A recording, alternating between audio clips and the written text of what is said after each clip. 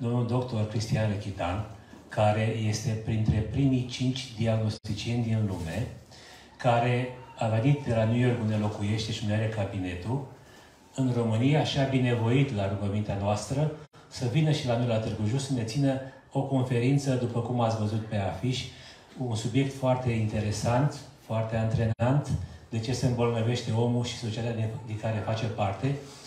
Uh, n-are rost să spun mai multe, dânsul o să vă explice mai multe lucruri, îl las pe dânsul să vorbească, pentru că așa este normal. Vă mulțumim că ați venit!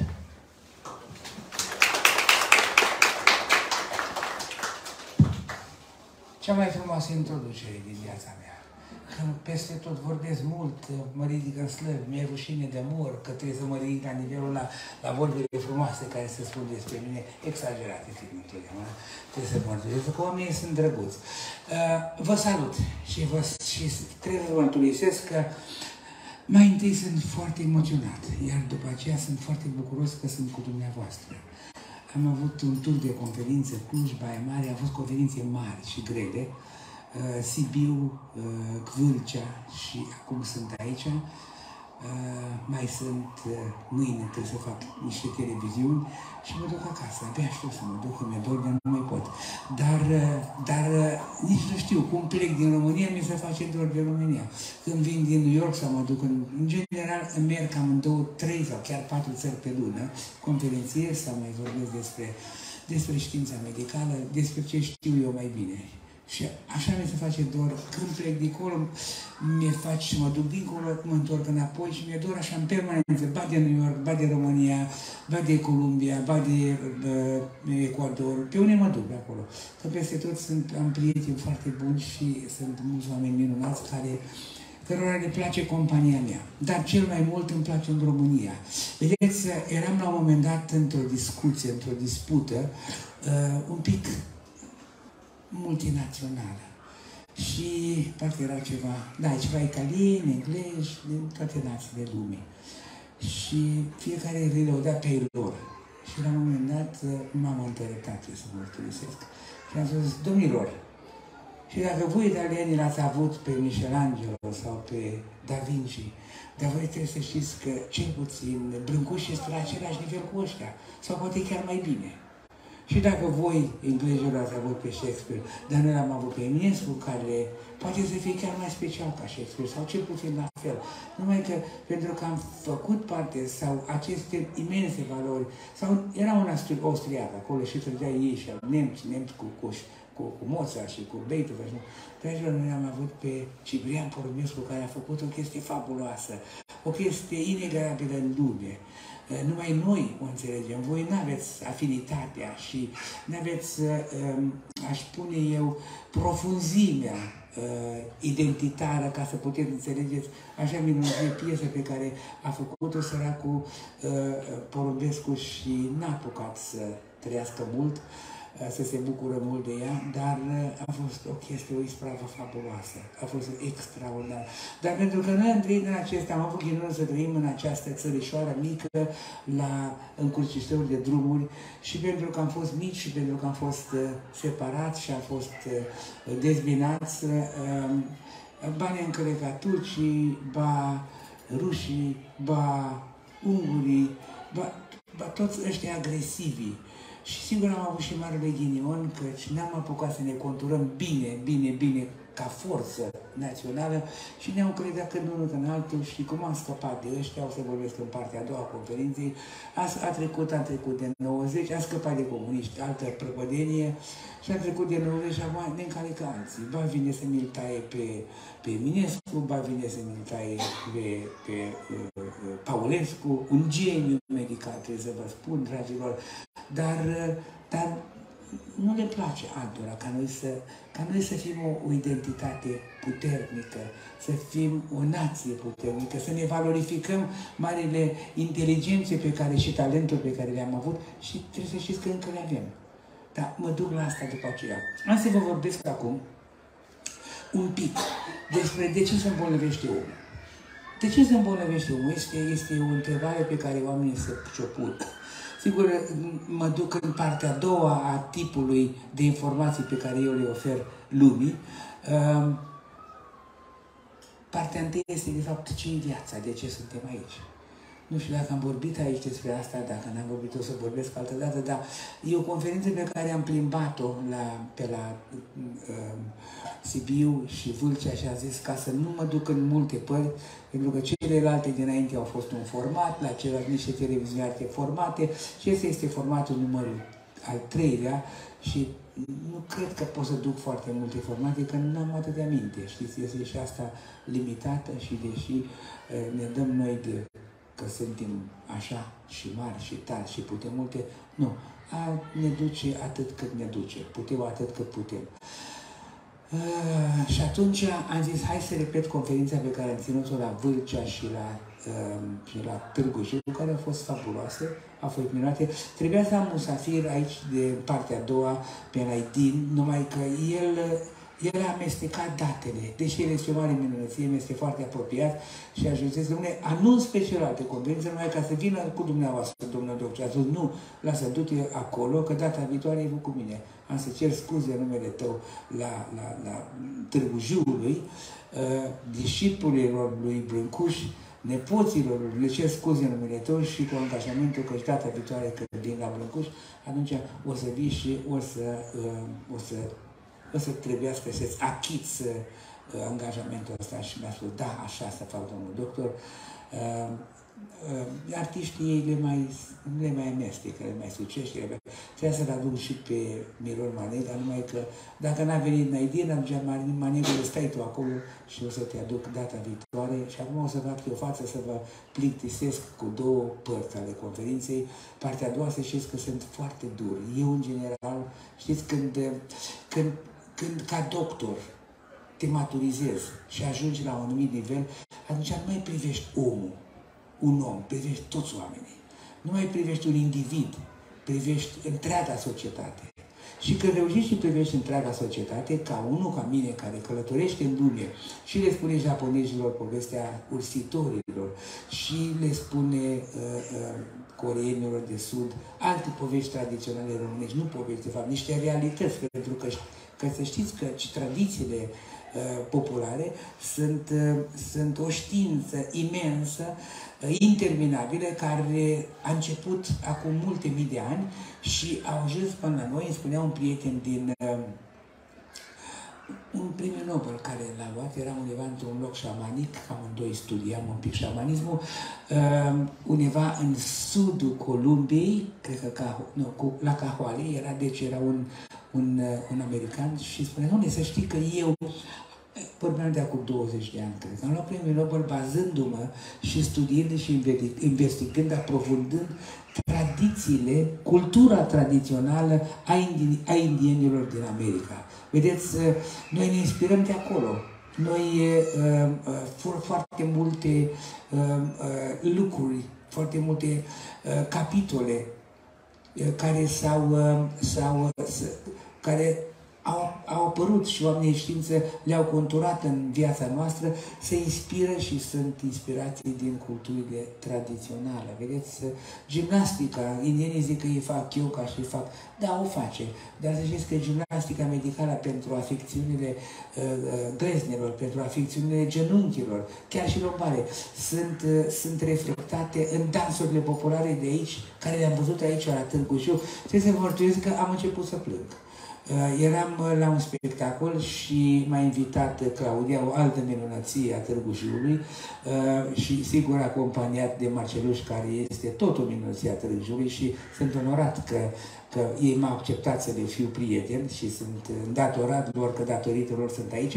Am văzut un spectacol aici, unde erau dansuri populare, le-am analizat, nu se puteau gimnastică, anti-artroză de genunchi, anti problemelor de glezne, uh, antivarice, decât ce, ce întâlneam în jocurile populare românești, cele mai tradiționale, nu? Sunt cele mai extraordinare, cea mai extraordinară gimnastică din lume. Nu numai pentru că e mișcare, dar mișcarea este combinată cu un stimulent care apare pe creier, deci atunci uh, uh, uh, anumite glande de pe creier, în clipa când auzi muzica pe o anumită tonalitate, da?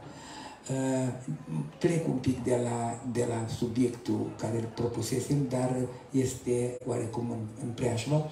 Deci atunci când auzi muzica populară cântată într-o, într-o anumită tonalitate, muzică care semnifică anumit, uh, un anumit subiect, dragostea, iubirea, uh, voieșirea, vitejia, e atunci pe creier uh, sistemul glandular de pe care, care face serotonină, care face uh, endorphins, care face, știți, uh, uh, crește activitatea acestor secreții glandulare, acestor secreții hormonale și tot corpul intră într-o, într-un extaz extraordinar, un extaz care are ca vindecare, are posibilități de vindecare a tendonitelor, posibilități de vindecare a spasmelor musculare, pentru că comandul, creierul când intră într-o anumită transă de bucurie, de veselie extraordinară, ă, atunci comandă o relaxare a sistemului unic, sistemului muscular, pardon, de pretutindeni.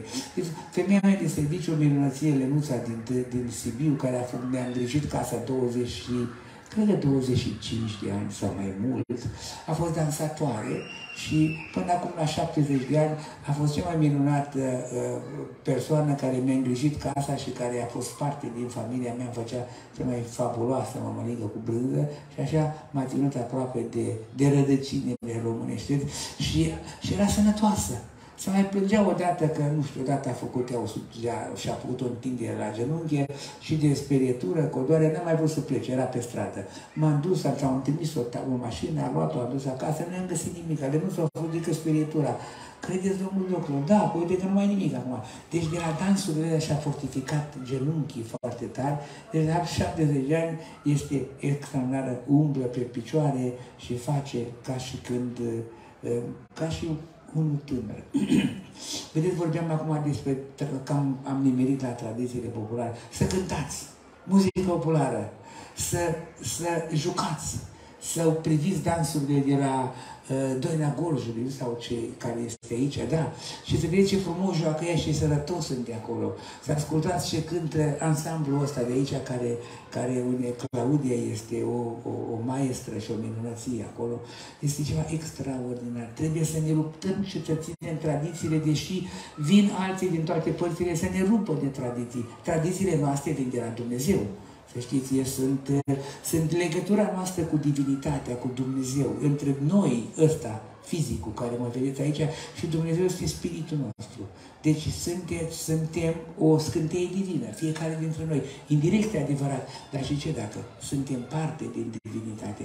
Așa că iar Dumnezeu ne-a dat țărișoara asta pe, pe care vin ba ungurii să ne mai ciopărțească de ea, ba vin alții din alte părți să mai iau o bucată, mai ne păcăresc unii și alții, dar să nu ne zăm păcăriți, să ținem aproape de tradiții și de muzica asta pe care o interpretăm atât de fabulos, Doina Gorjului. E o minunăție. Pe mine, parcă mi se rupe, mi se umple sufletul când mă gândesc la ce am văzut acum doi ani, parcă, uh, uh, dansurile la pe scenă. Dragilor, deci, ne îmbolnăvim. De ce? Sunt două motive care ne îmbolnăvesc.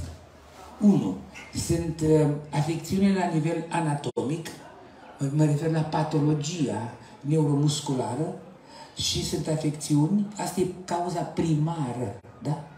Și am să vă vorbesc despre asta în câteva cuvinte. Uh, n-am să vă...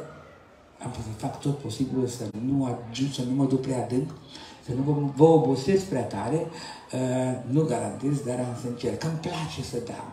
Îmi place, vă dăruiesc din ce știu, cu atâta bucurie și cu atâta dragoste. De ce? Că sunt egoist. Pentru că îmi place. Cu cât vă dau mai mult dumneavoastră, cu atât mă simt că îmi împlinesc menirea, ursita, dacă știți. La noi, la Goravei, am învățat despre ursitori și turtile și toate astea cu miere, primele, câte erau, trei zile, nouă zile, când se construia ursita. Este o, o poveste științi, științifică, fabuloasă, medicală extraordinară. Este o realitate prin care exprimă începutul existenței fiecare dintre noi, intrarea în vieții. Deși mai târziu, când au venit din alte părți, le neagă. Nu, că le sunt povești populare. Da, povești, domnule, da, de unde? Sunt niște adevăruri, niște chestii fabuloase.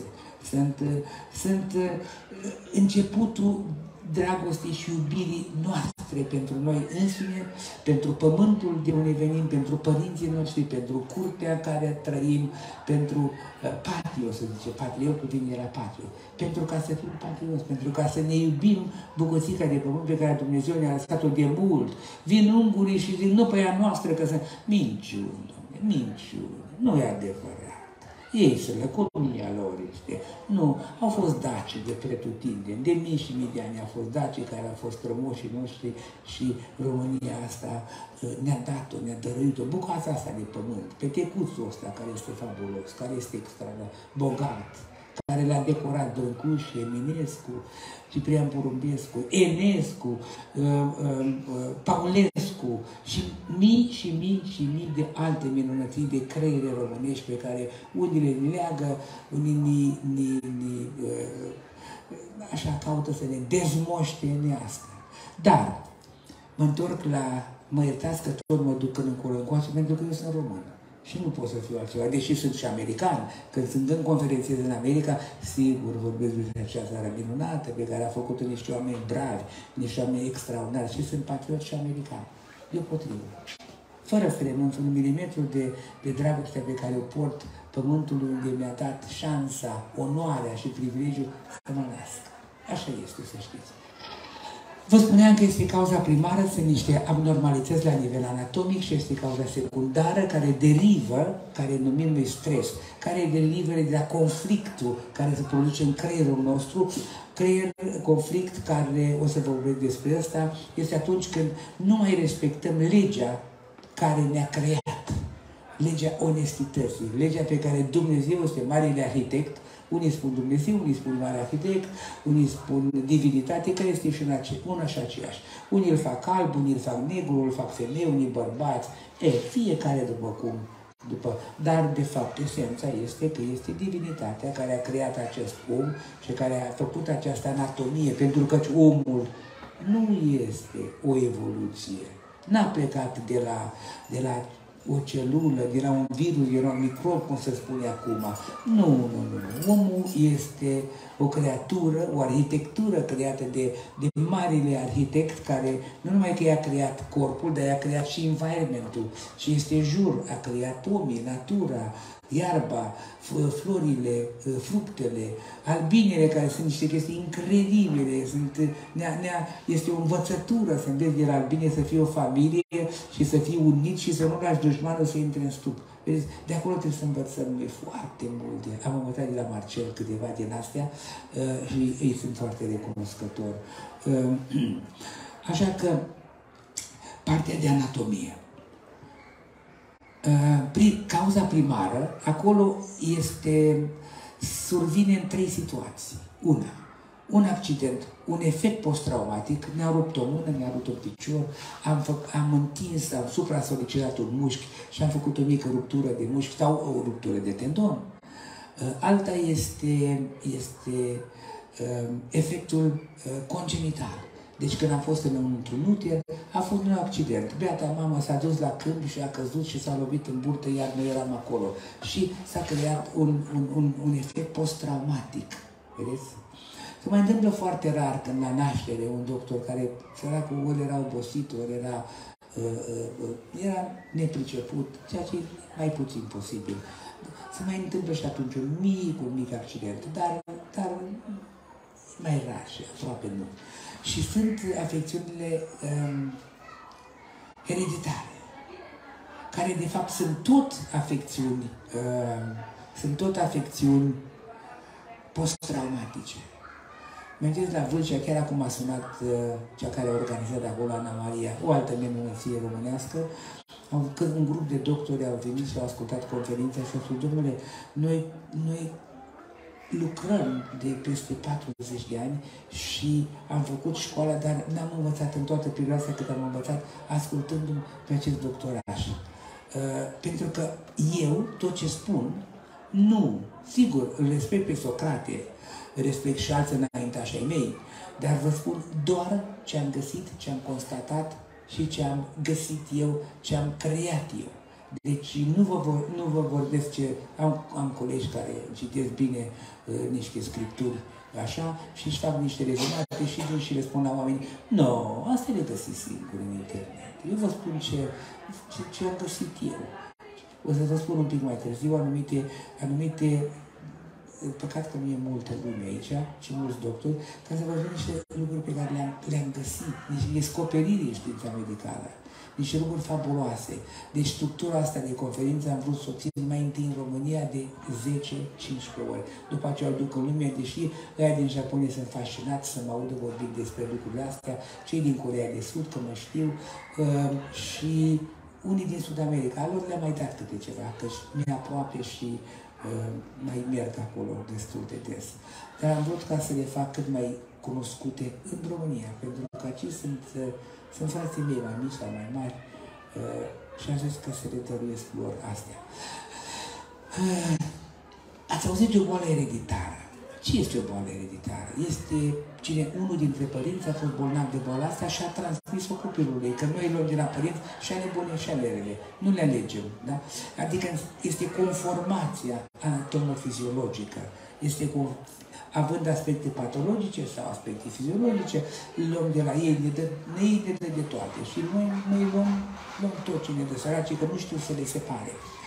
Um, și atunci ne naștem cu anumite boli eritere, cum este um, diabetul de pildă, cum este hipertensiunea arterială, cum uh, sunt anumite uh, aspecte de, de dezechilibru uh, cerebral chiar. Uh, am să vă fac o mică distribuire, că tot sunt la boli ereditare, ce am constatat eu. Tratând de mai multe zeci de ani pacienții, dar tratând de mult, destul de, de un număr destul de mare probleme de diabet.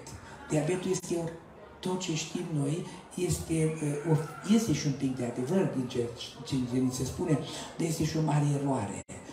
Diabetul nu este o boală a pancreasului, adică pancreasul nu fabrică insulină. Nu, dragilor, pancreasul fabrică insulină, dar beata insulină ne ajunge în, în, în vasul, în mainstream care trebuie să preia insulina, hormonul și să-l ducă în tot corpul, să-l ducă la ficat, să-l proceseze, da? ca să poată să, să, să neutralizeze excesivul de zahăr.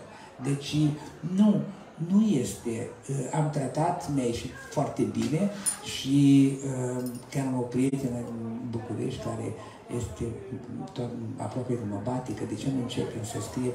Mă că n-am să comunicăm, n-am timp. O să fac și asta când îmbătrânesc, încă sunt foarte tânăr și am de acolo până acolo. E o paranteză, mă dau de tânăr, dar, dar prietenii râd de mine, zic că, că de fapt a trecut de prima tinerețe.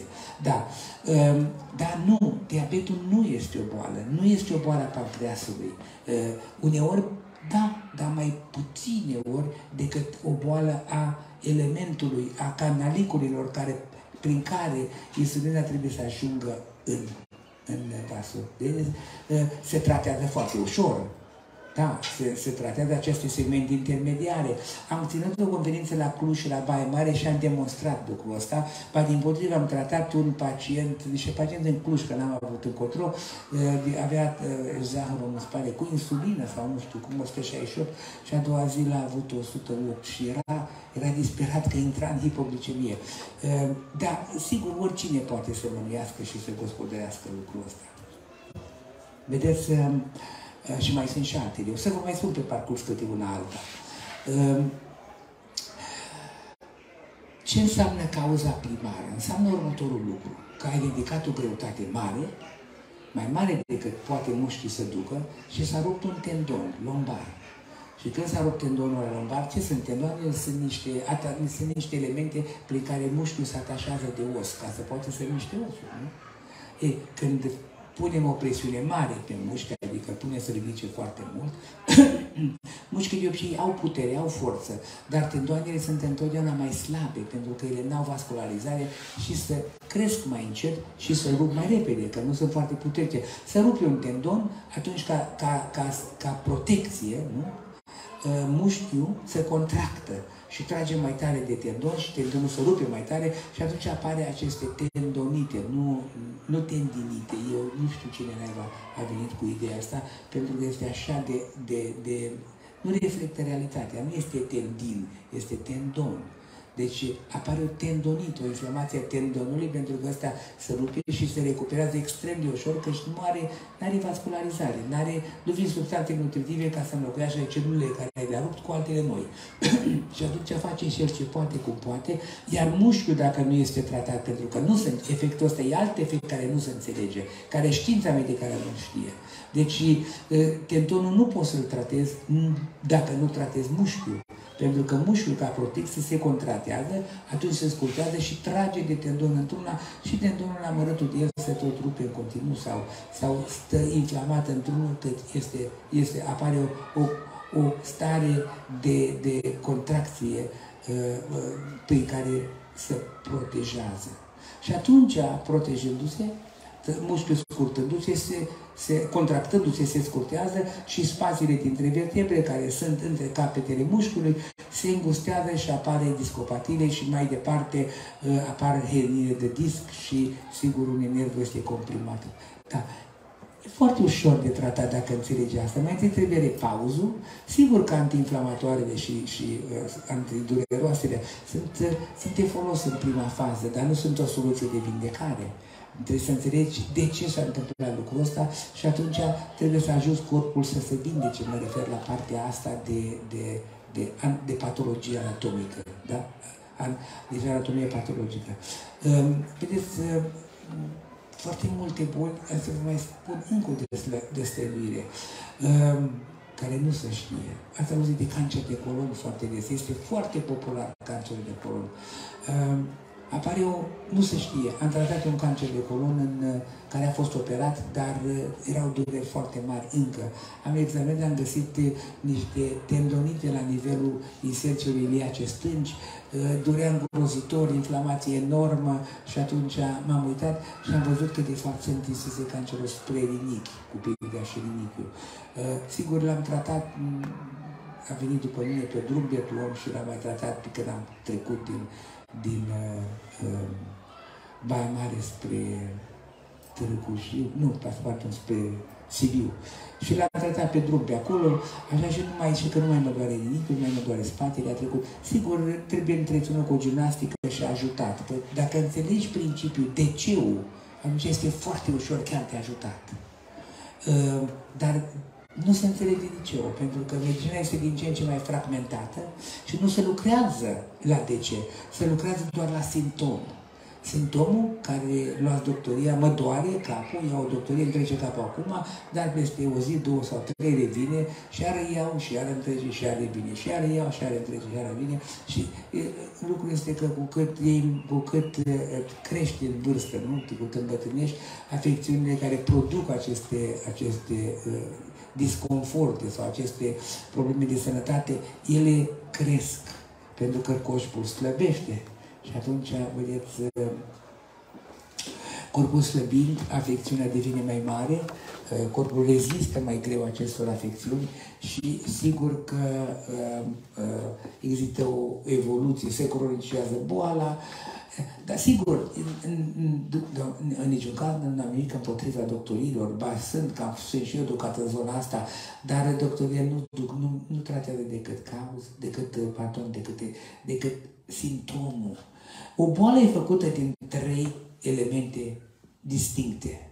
Una este o afecțiune. Care ce este? Este o, o, o să zicem, o gastrită deci o hiperaciditate gastrică sărită mucoasa stomacală, e o gastrită care cu timpul, dacă o ajutăm cum trebuie, se duce în ulcer, da? Sau cum nu trebuie. Așa. E, vedeți, uh, această gastrită, ca simptomatologie, ne doare stomacul, avem arsuri. Asta este simptomul. Gastrita este gastrita, iritația mucoasei stomacale, deci o afecțiune a stomacului, a, a mucoasei stomacale interne.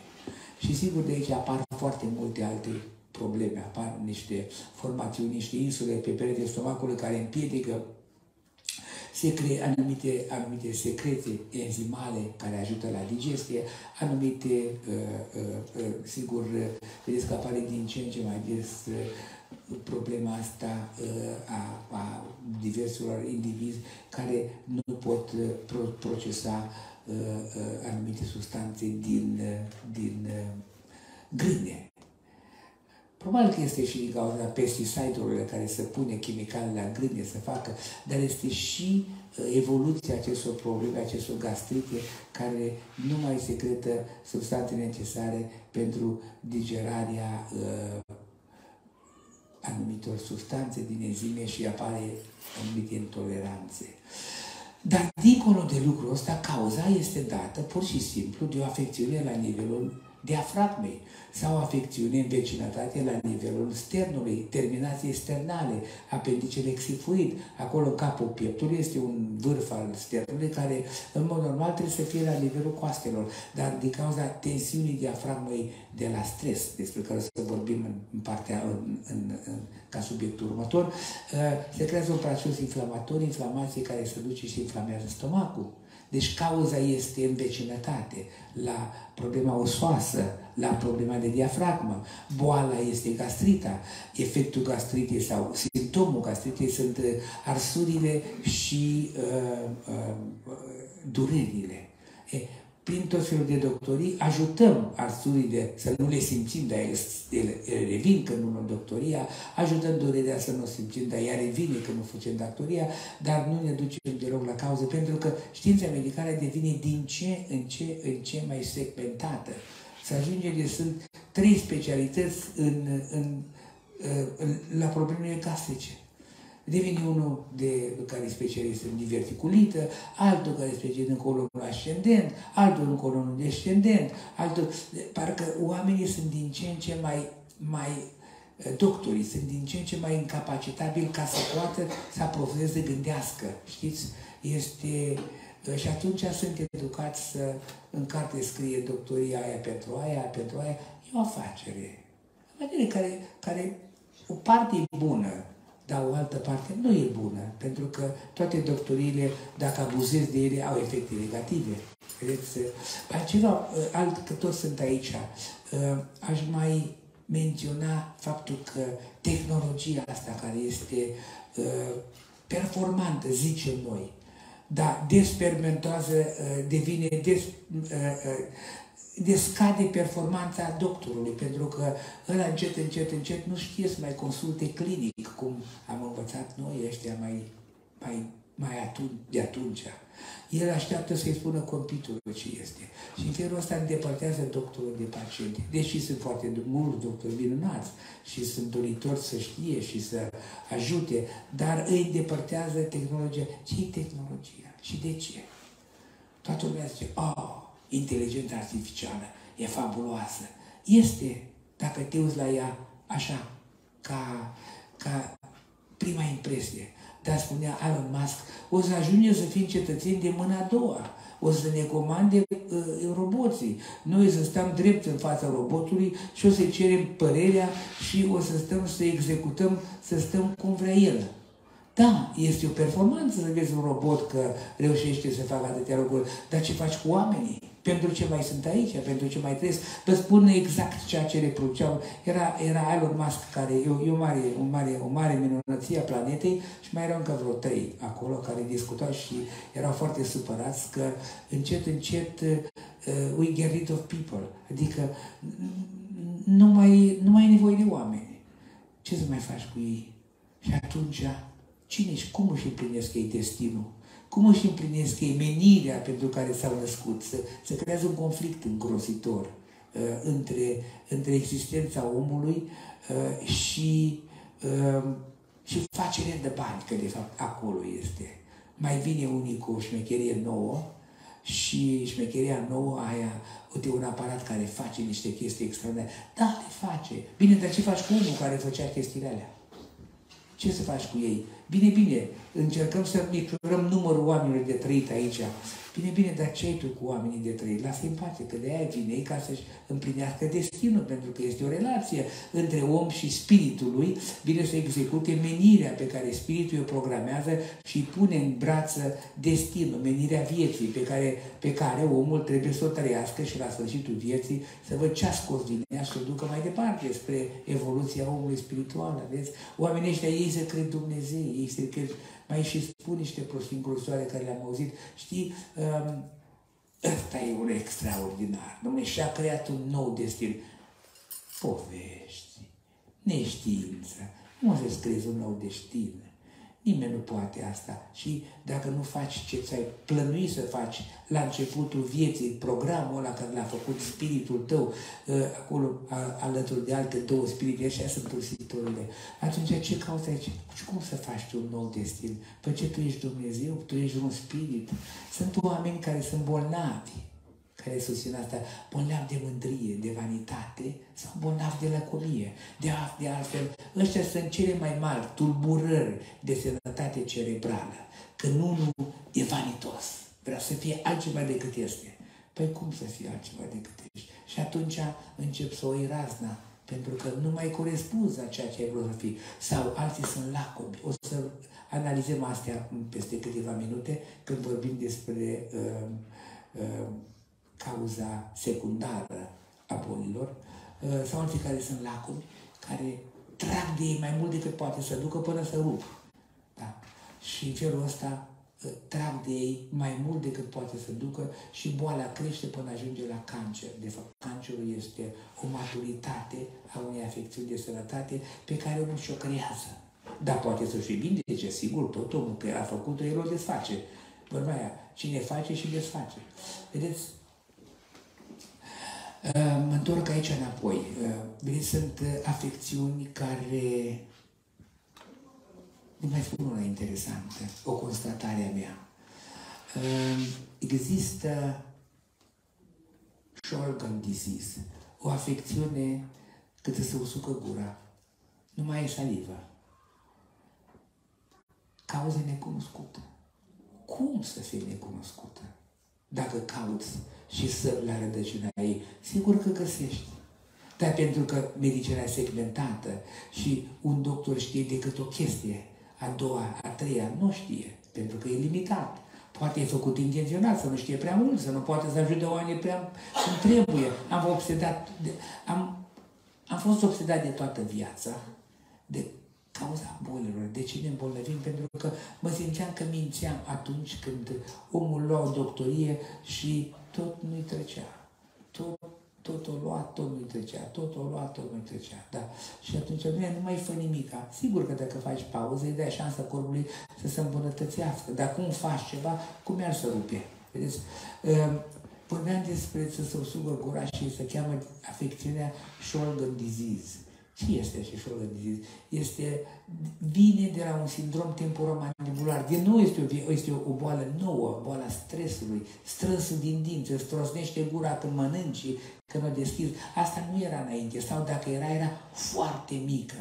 Acum este de o abundență incredibilă și asta sigur că se face o atroză acolo la nivelul gurii și asta afectează uh, uh, uh, canalele prin care saliva vine în gură și atunci apare această boală pe care, pe care o numești organ disease. Și ce șmecheri sunt ăștia care o numește așa, băi, ce carte știe ăsta. Păi dacă știi carte, domnule, ia vezi de ce vine. Sau, sau apare un sindromenie, amețește. De ce? Păi nu știm cauza. Păi e vine de la, acest, de la același lucru, de la acest, de la acest sindrom temporomandibular care afectează urechea medie sau vine de la niște tendonite în spatele urechii care se, din cauza sponizul cervicală, Îți spun lucruri care nu se știu. Ce păcat că nu sunteți doctori, că ați putea să le folosiți la pacienți.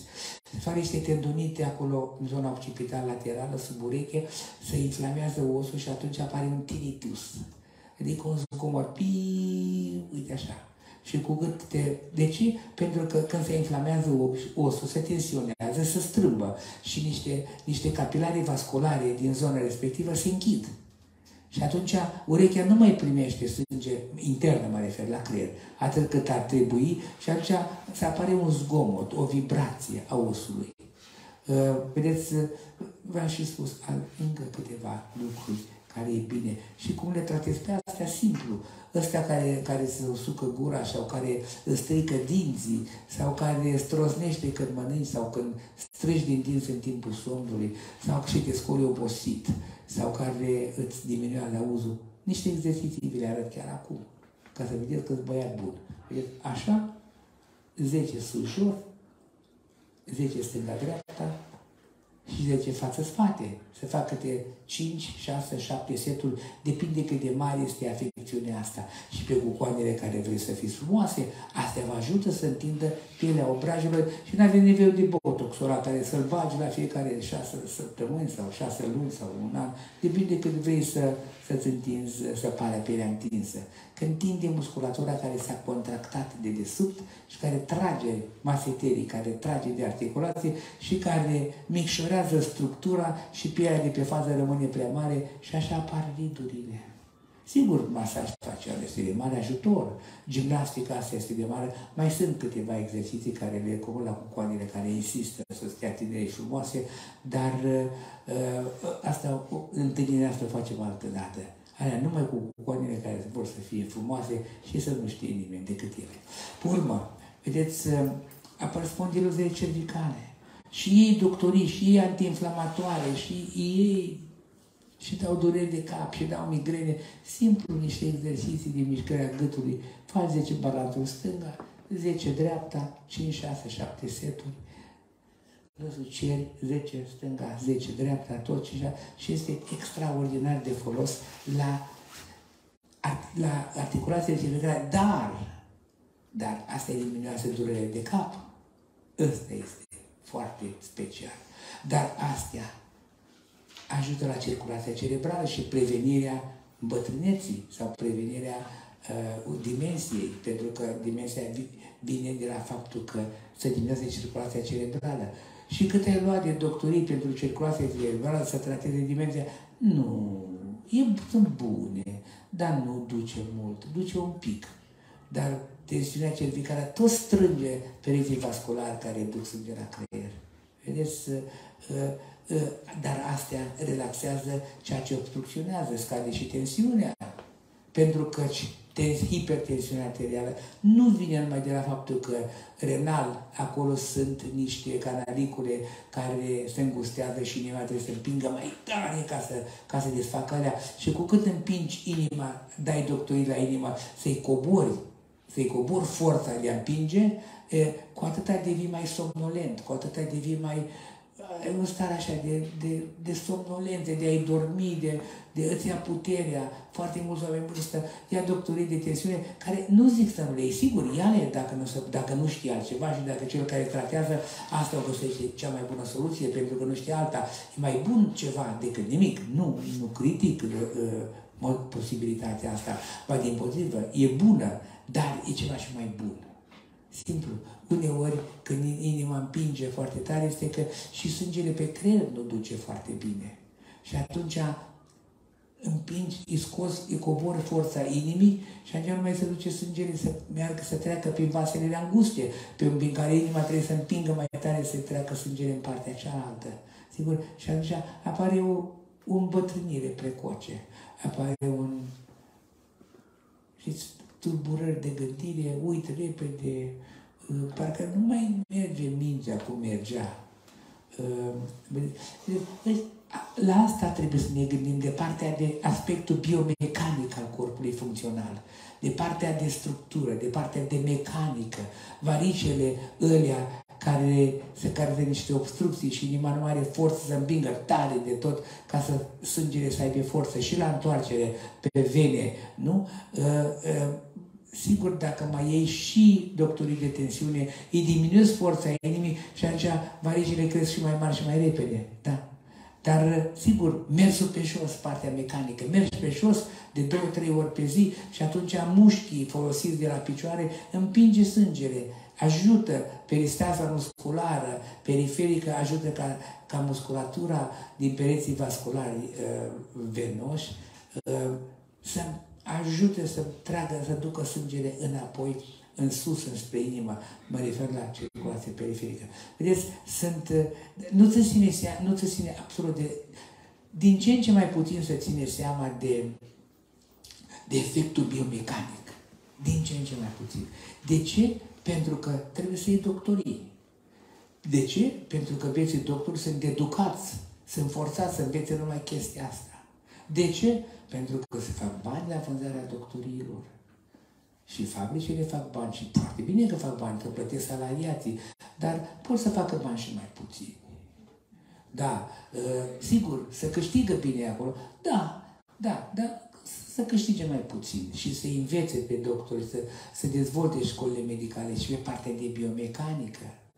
Uh, era, uh, era partea asta de, de medicină care este osteopatia, dar și ăștia încet, încet uh, trec în partea altă. E de o doctorie omului că, că nu prea se învață la școală mult despre partea de biomecanică.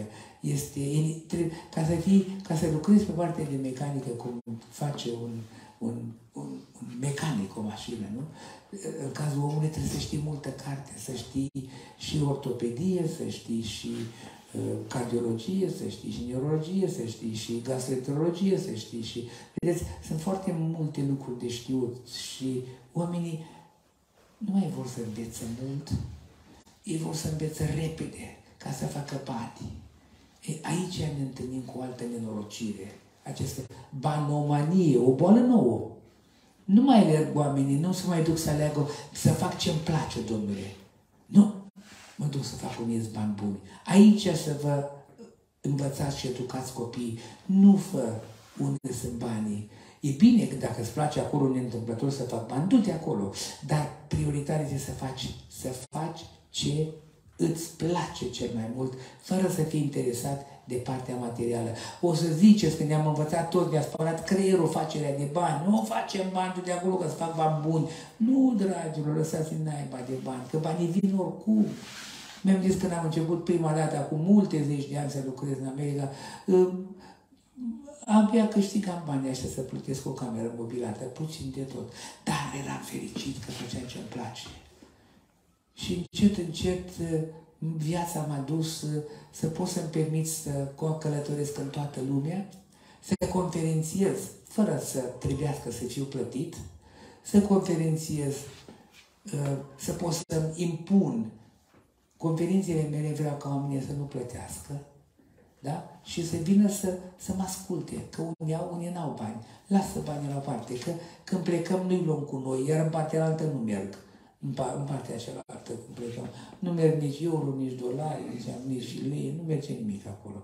Așa că, vedeți, învățați-vă copiii, prietenii, neamurile, rudele, nepoții, strănepoții, ce-o fi. Nu, nu, nu, dar al lumii. Și a murit de cancer, s-a bătut până când uh, s-a stresat. Bani mai mulți, mai mulți, mai mulți și a ajuns la mai multe zeci de miliarde și, și murea și îmi spunea, dragă doctore, îți dau un sfat că o să tratezi mulți pacienți în viața ta și nu o să pleci așa de repede cum am plecat eu. Dar învață lucrul ăsta. Don't chase the money. Nu alerga după bani. Pentru că banii ne vin atât cât ne trebuie. Dacă vrei mai mult decât îți trebuie, atunci încep să tai din tine. Îți tai o bucată din picior, tai o bucată din stomac, mai tai o bucată din intestinul gros, la femei mai tai o bucată din uter, mai, mai extir, mai, mai, mai scoți, faci o histerectomie, mai scoți un ofar două, bărbatul mai scoate, mai scoate din o prostată și uite, acolo ne duce lăcomia de bani, dragilor, dacă tot vorbim de partea de mecanică. Vedeți? Și am să vă explic acum imediat cum ajungem la chestia asta? Cum ajungem să reușim să ne îmbolnăvim atât de mult, atât de bine, atât de frumos, atât de spectacular, să trăiască să scoți colonă și să pui un anus contra naturii. Să trăiască să scoți uterul tot din tine ca femeie și să rămâi goală pe dinăuntru. Să vă, să vă văd cum se întâmplă această performanță. Mă iertați că sunt atât de direct și atât de dur. Uh, uh, nu știu, cred că v-ați prins pe picior greșit, că data acum două zile la la Vâlcea a fost mai simpatică, dar mai simpatică, adică a fost mai, mai uh, uh, n-am vorbit atât de direct, acum m-a prins pe picior de vorbit direct. Uh, vedeți, uh, asta asta este partea mecanică. Aici este, este un preludiu a ceea ce urmează să vorbesc. Nu alergați după bani, pentru că este o himeră. Nu ne dă decât boală. Făceți ce vă place și vin bani mai puțini. Dar cu timpul vin atât cât îți trebuie. Important este să ai satisfacția aia că ai creat ceva spectacular că ai, ai creat ceva foarte bun, că ai creat ceva care îți place și când te uiți acolo în lucrurile care l-ai creat, ai o împlinire, ai o satisfacție sufletească, ai o bucurie, simți că, Domnule, nu stau degeaba, fac bine pentru oameni. Știți ce este asta? Când simți că ești de folos sau ești util, când simți și de folos oamenilor și util, ești numai atunci când nu ești interesat ca prin ceea ce faci să fii recompensat așa cât și cum dorești. Nu. Când apare vreau, da, eu fac asta, dar vreau să plătesc, fiu plătit așa, e atunci apare conflictul dintre tine și, și spiritul tău sau sufletul tău. Și atunci se încurcă lucrurile. Dar dacă nu te lași furat de lăcomia banilor, atunci când te simți că ești util, că ești de folos, că ai realizat un lucru extraordinar așa cum a realizat Brâncuș, domnilor, a fost un om formidabil băiatul ăsta, vedeți, uh, atunci realizezi că te apropii să fii fericit. Ce-i fericirea? Fericirea este când ești detașat și nu mai ești în slujba banului, în slujba diavolului, că de fapt ăsta e diavolul. Da, nu vă duceți la extremă. Da, da, ce mâncăm, da, cum din chiria. Nu, asta vine, vine singură, fără să te lupți. nu sunt, nu sunt nicio scofală. Am plecat din România, nici nu vorbeam bine limba și eram și un băiat de la țară. Plecasem din la gura voi, pleca așa și eu, cum a plecat și Brâncuș, cum a plecat și Paulescu, cum a plecat așa, cu bocceaua în spinare. Și am reușit și uite, am reușit bine și am făcut bine. Vedeți, nu am, n-am făcut nimic niciodată pentru bani și niciunul care sunt ca mine nu fac pentru bani. Banii vin. Faci pentru ca să faci bine. Dacă ai conștiința ceea ce faci, să faci cât mai bine, e atunci, e atunci te simți, Doamne, am realizat ceva fabulos mă uit în oglindă și mă îndrăgostesc de această realizare. Deci eu, atunci încep să iubești adevărat. Pentru că nu vrei să fii plătit pe ceea ce cred alții.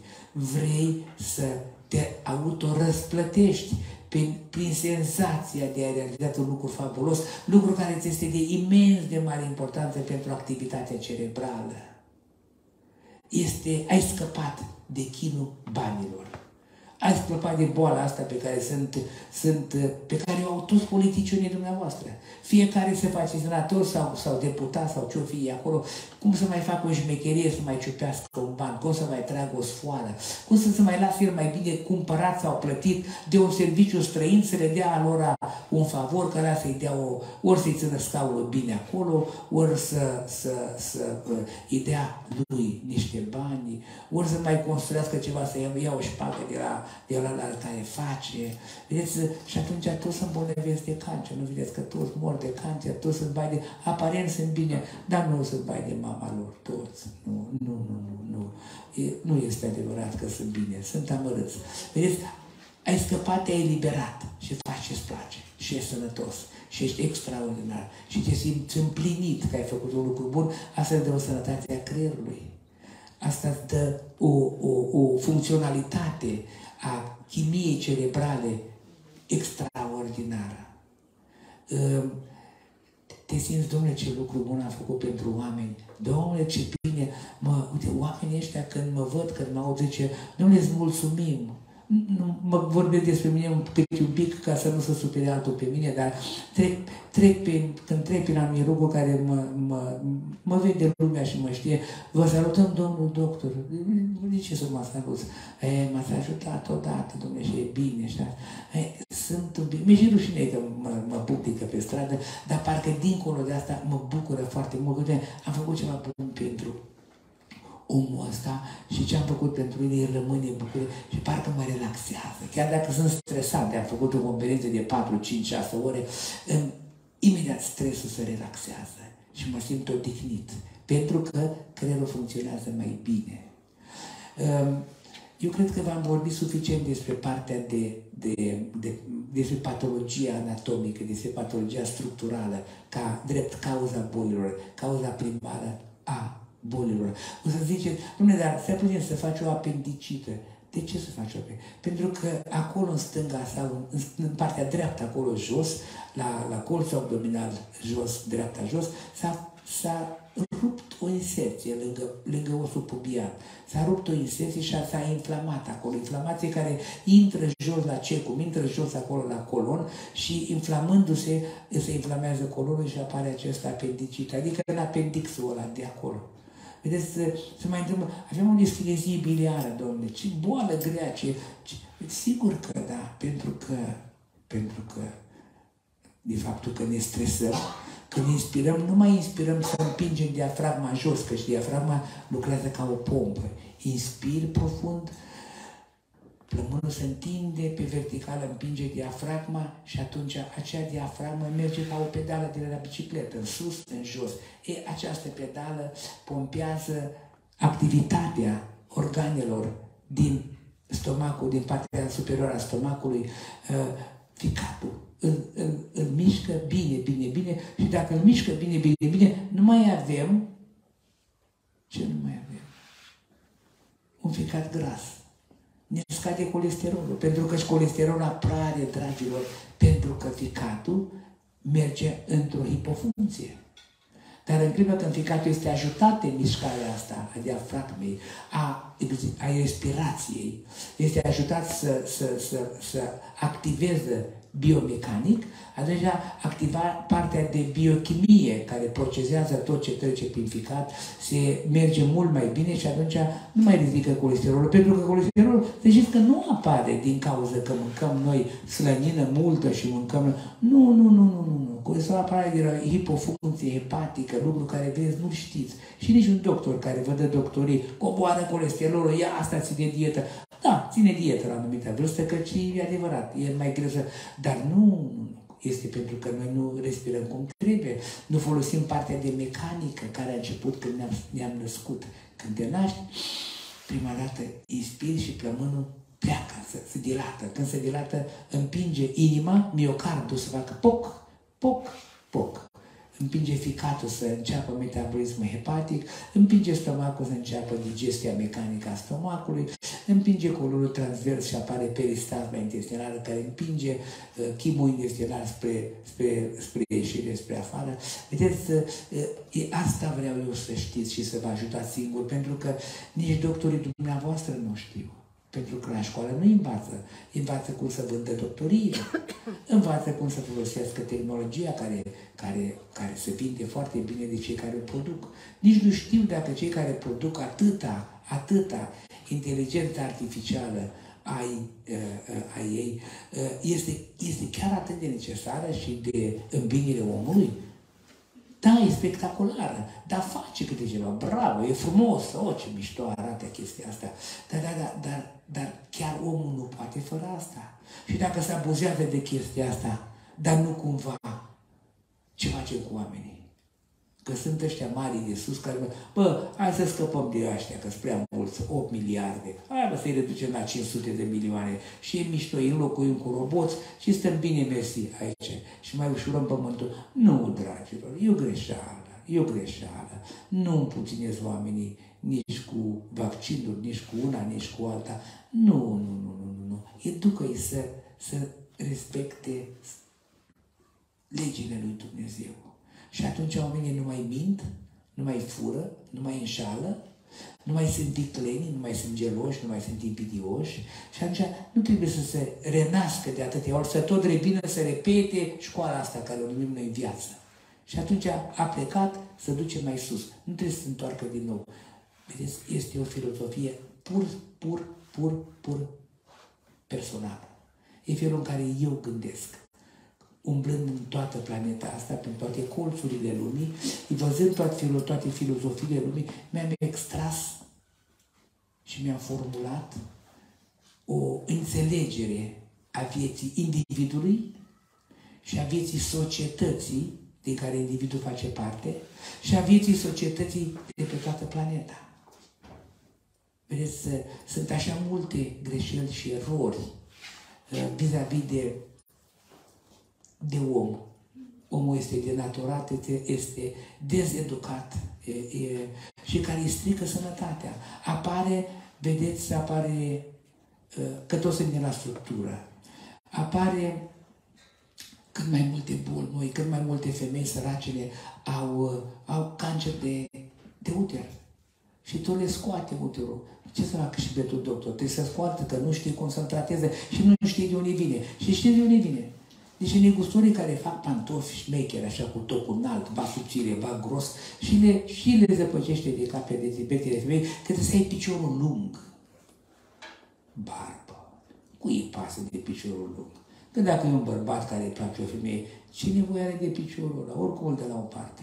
Așa că, iertați-mă, așa că, și, și vedeți, și doar, doar te prețuiește bărbatul tău de acasă, care, care ăla să, îți, să bucură de sufletul tău, să bucură de mintea ta frumoasă, să bucură de faptul când, cum îl pup sau cum le îmbrață. Deci de asta se bucură. Ăsta e singurul colț esențial. Că e piciorul lung, că ești, ești înaltă.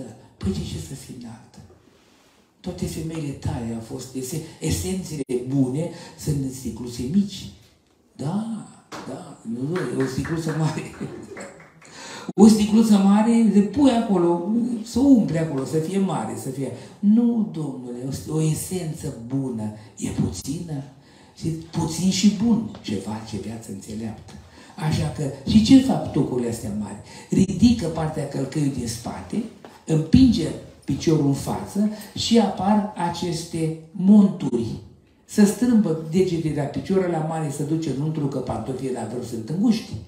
Și sufere bete femei și dă de lucru doctorilor care n-au ce să taie, taie la monturi acolo, vedeți? Deci, pe, altceva mai rău. Ridică călcăiul sus, ridică fundul sus și bazinul lunecă în față, să fac să strâmbă oasele. Doamne, să nu mă bateți când plec de aici, că vorbesc așa lucrurile ocoanelor. Da, vedeți, și să strâmbă și să, să, să strâmbă coloana, să face o, o hiperlordoză lombară, discopatii, hernii de disc, și, dar toate astea afectează poziția bazinului și ce în bazinul nu este uterul strâmbă pe uter, să strâmbă la, să, să cocoșează. De partea de sus să duce în jos, de partea de jos să vine în spate, că strâmb, strâmb fundul, îl răsucește așa în față, vedeți? Și apar uter retrovers și din ce în ce mai greu, multe femei vor să rămână sărcinate deși nu pot, domnule. Da, e bun, s-a creat o afacere nouă, hai să facem in vitro. Bine, dacă n-ai control, faci și pe aia, dar dacă ai grijă de corp, pentru că corpul este bine desenat de Dumnezeu, este bine făcut și leg- ca să fie așa cum este. Dar dacă noi îl mutilăm, creăm niște bui boli noi. Și băieții ăștia care fac pantofi sunt fericiți și să vezi că e plin de pantofi de toate felurile, cum să strice mai bine bă, ă, ă, corpul femeii și cum să o fărâme mai tare, ba mai împotrivă. S-au creat și disciplini noi, Ba și pune o pereche, ea adaugă o pereche de țâțe noi care de le dă tensiune cervicală, dă spondiloze, da, ba mai și nici o pereche de curt noi pune la femei, betile femei. Și le zic așa e bine și apar tot felul de comentarii și de modi, mamă ce mișto arată asta, hai să facem și buze groase, că sunt bune și ele arată mult, arată așa, da, arată altfel, dar e o frumoasă femeie frumoasă, de aia brâncuși, dragilor, a făcut, a făcut sărutul, poarta sărutului. Ce este asta? Niște buze normale care Dumnezeu le-a creat, când se întâlnește a femeii cu a bărbatului, se creează o, un circuit energetic între cei doi, se creează o apropiere, este începutul unei relații oneste, unei relații sănătoase și curate, dar încă ceva, ceea ce nu știe și nu vorbește nimeni, da? Nu mă bătesc astea cu buze mari, ă, se creează în clipa când injectez în buze, apar papilele de pe buze care transmite senzația în timpul sărutului, o transmite la glanda pituitară.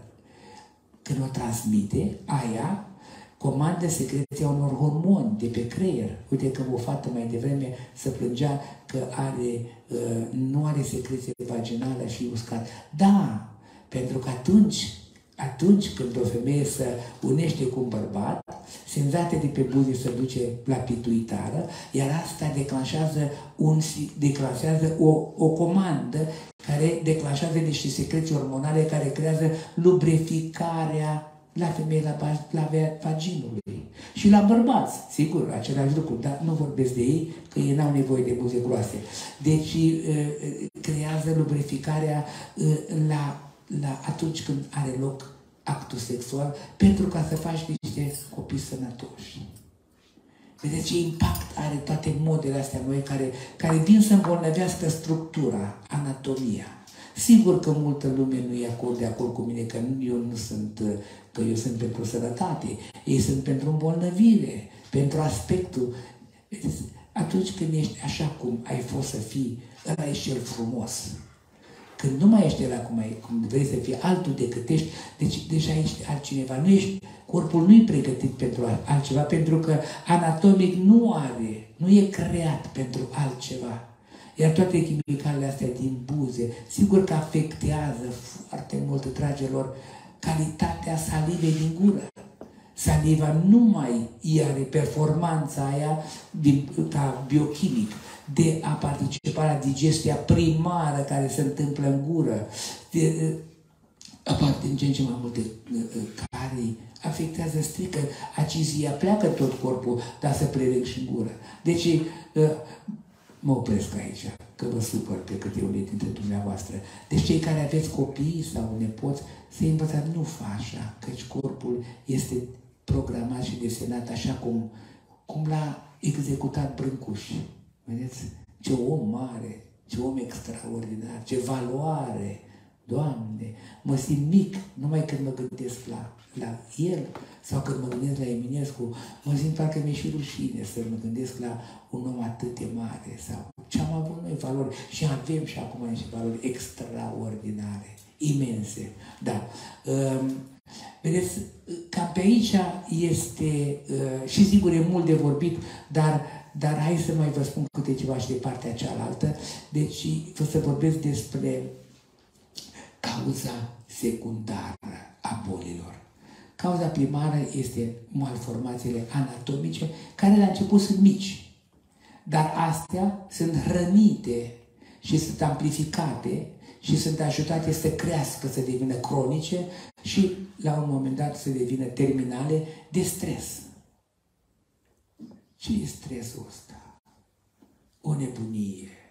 Este, e un lucru care adună tot ce e rău în, în gândirea omului. Uh, ce, eu aș vorbi despre primele două și de acolo derive altele. Vanitatea. Vanitatea sau mândria. Și despre lacomie.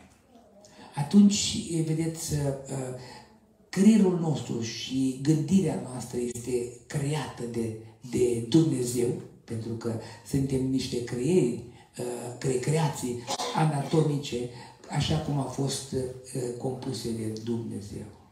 Vedeți? Uh, și s-a creat pe, bazat pe legea onestității.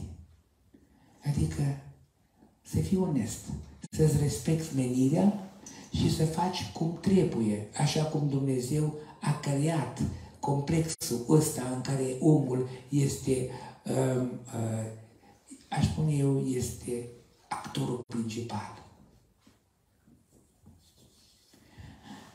Dar sunt oameni care vor să fie altceva decât sunt. Ăia sunt oameni obsedați, dominați, controlați de vanitate, de mândrie. Și nu este o boală neapărat ereditară. Nu. Nu. Unii spun că da, stai că așa a fost și tasul și bunica su. Da, o fi fost e așa. Dar copilul care se naște geniu, rețineți, toți copiii se nasc genii. Dar în prima parte a vieții, când ei învață, învață elementele esențiale, când își, își alcătuiesc, uh, uh, când își umple departamentul memoriei, memoriei conștiente, de unde își extrage informațiile pentru a, proces, a le procesa și crea decizii de trăire. E, în prima parte a vieții, copilul preia de la mamă, de la tată, de la bunic, de la, de la prietenii părinților, anumite sensibilități. Dacă vede bine, preia bine. Dacă vede rău, el prea rău. Dacă vede vreunul care este impresionat că e vanitos, mamă, ce, ce, ce, ce, ce, ce lucru mare este ăsta, uite ce drept și ce înalt și impunător și așa, dar nu prin inteligență, prin șmecherie. Dar copiii nu știu asta, că sunt încă, nu-și, form, nu și-au formulat uh, decizia analitică. Și vor să fie și vanitos și mândri. Și multe din nenorocirile comunităților planetei vin din urma unor vanității unor oameni, mândrii unor oameni. Și sunt, sunt, să știți că vorbesc aici acum, uh, că sunt la capitolul ăsta, pardon, să știți că sunt instituții, instituții, dragilor, care cunosc foarte bine manipularea acestui, acestei reguli, acestei trăsături care se cheamă vanitatea. Și, și își fac treaba. Vrea să dărâme o relația dintre doi prieteni, dintre doi oameni, dintre, dintre un bărbat și o femeie, sau înăuntru unei comunități, sau în două comunități să duce și o peștera unii că vezi că ăsta e, nu te vorbește de rău și tu ești unul și bun. Îți ridică ura să duce și la ala. Și uite, așa creează conflicte. Conflicte, multe conflicte care sunt în lume, sunt create în mod special pentru a reuși să manipuleze oamenii. Să știți, să fiți foarte atenți când cineva îl vorbește de rău pe altcineva în fața unuia dintre dumneavoastră. Nu e neapărat adevărat. Nu. Poate ăla care vorbește de rău pe celălalt, ori el însuși este uh, dominat de o defecțiune de personalitate, ori pur și simplu are un interes anume ca să bage o intrigă între tine și ălalt, pentru că de acolo are ceva de luat, are ceva de profitat. Asta este caracteristică. În România, la români, de aia doi români săraci nu pot să stea la un loc. Nu pot să facă ceva. Ei sunt eu, nu sunt noi. E, sunt dezbinați. Sunt școli de dezbinare a ălora care vor să vă dezbine. Vedeți, Aici, cât dacă tot vorbesc despre, despre funcționalitatea gândirii, da, mândria este o boală. Eu o calific de o tulburare cerebrală. Deci niciodată când cineva îl vorbește pe altcineva de rău în fața dumneavoastră, să nu fiți de acord, să nu luați, să nu ascultați. Pentru că e făcut ori în scop anume, ori ăla care vorbește de rău pe altul are el probleme, are probleme de, intrigos, așa, de gelozie, de invidie, urăște ușor. Aici este, vedeți, sunt șefi de state care au, au dus războaie și au creat conflicte, uh, uh, distrugând oameni nații, comunități, pentru că au fost obsedați, că au fost controlați de această chestie diabolică care se cheamă mândria sau vanitate. E, hai să vorbim despre cei de-al doilea. Deci ăsta este un producător de stres. Pentru că ești valitos, nu mai ești, vrei să fii tu, ăla care te-a creat Dumnezeu, ăla care te-a creat arhitectul, ăla care trebuie să fii așa că trebuie să fii, pentru că arăți bine, Domnule, ai o treabă de făcut și o faci cum trebuie. Nu, vrei să fii altcineva. Când ești altcineva și nu mai ești tu, atunci ai ieșit de pe tărâmul împlinirii tale, misiunii tale. Și atunci te-ai, ca și cum ai plecat dintr-un drum care e un drum care era ca prin pădure, un drum forestier frumos. Am fost cu Gheorghiță și cu Florinel și am mers pe niște drumuri minunate. Erau forestiere, dar se putea merge. E, o iei, o iei prin prin tufăriș, așa, prin, printre tufe, și te zgâri, și te lovești, și abia înaintezi, abia mergi. Asta e diferența dintre un program al vieții, când mergi pe un drum care, care ți l-ai creat la începutul vieții și pe un drum care vrei tu să fii altceva, să, din cauza vanității, vrei să fii tu mai șmecher, mai mândru, mai așa. Și atunci, sigur că intri în conflicte cu tine însuți din punct de vedere fizic, pur și simplu. Ăsta este, ăsta ne duce când deci, creierul obosește, creierul se relaxează. Pentru că îl pui să muncească de două ori mai mult, odată pe, așa cum ar trebui să fii și ca să ducă funcția întregului organism, pentru că creierul este cel care coordonează tot ce este în corp afară, și să satisfaci tu pe ăla care ești tu vanitos, că sunt, eu sunt mai frumos ca el altă, eu sunt mai senzual ca el altă, eu sunt mai șmecher, mai bogat, mai tare, mai aia. Deci, sigur, atunci forțezi creierul să facă și altceva decât ești și să obosești îngrozitor. Este o obos- oboseală în plus a creierului, pentru că îl pui să lucreze mai mult. Deci, un lucru excesiv vis-a-vis -vis de ceea ce uh, el trebuia să facă, duce la obosirea creierului, la stres. Și când creierul se stresează, să vă spun mai târziu ce se întâmplă. Hai să vorbim de a doua, a, a doua mare tulburare diabolică, care este lăcomia. Omul care pleacă tot din copilărie. Dacă vreți să aveți copii geniali, pentru că copiii sunt nasc genii, să aveți grijă ca copilul să nu învețe nimic rău, nici de la mamă, nici de la tată, nici de la prieteni, nici de la rude, să-i feriți sau să, să-i spune, bă, ăla e lacom, nu e bine așa pentru că locomia te duce spre peire. Și atunci, sigur, e învățat să fie, să se mulțumească cu puțin. Pentru ce mai mult? Dacă ai mai mult, obosești mai mult. Deci, lăcomie este o altă trăsătură, un alt defect, o altă, o altă uh, uh, istoveală a creierului, pentru că vrei să faci mai mult decât ți-ai programat. Deci noi ne-am programat atât, ne-am programat asta. Dar în clipa când, când te prinde lăcomia, de pildă lăcomia de bani, nu? Banii niciodată nu-ți dă satisfacție. Niciodată nu-ți dă senzație de împlinire, niciodată nu-ți dă saturație, vrei mai mult și mai mult și mai mult, ajungi la un milion, va vrei 10, ajungi la 10, va vrei 100 și, și uite așa vedeți goana asta după bancă, vedeți foarte mulți politicieni care tot nu se oprește din a vrea bani, pentru că acolo sunt, e ușor de furat, e ușor de luat, e pentru lacomi. Acolo sus nu mai este pentru oamenii oamenii buni, oamenii normali, care sunt dominați de, de sentimentul de a ajuta comunitatea. Nu, nu, nu, nu, nu, nu, nu, nu. Săraci de ei. Ei sunt săraci. Cât ar fi, câte milioane ar avea, toți săraci sunt pentru că nu fac nimic pentru comunitate, pentru rolul lor în viață.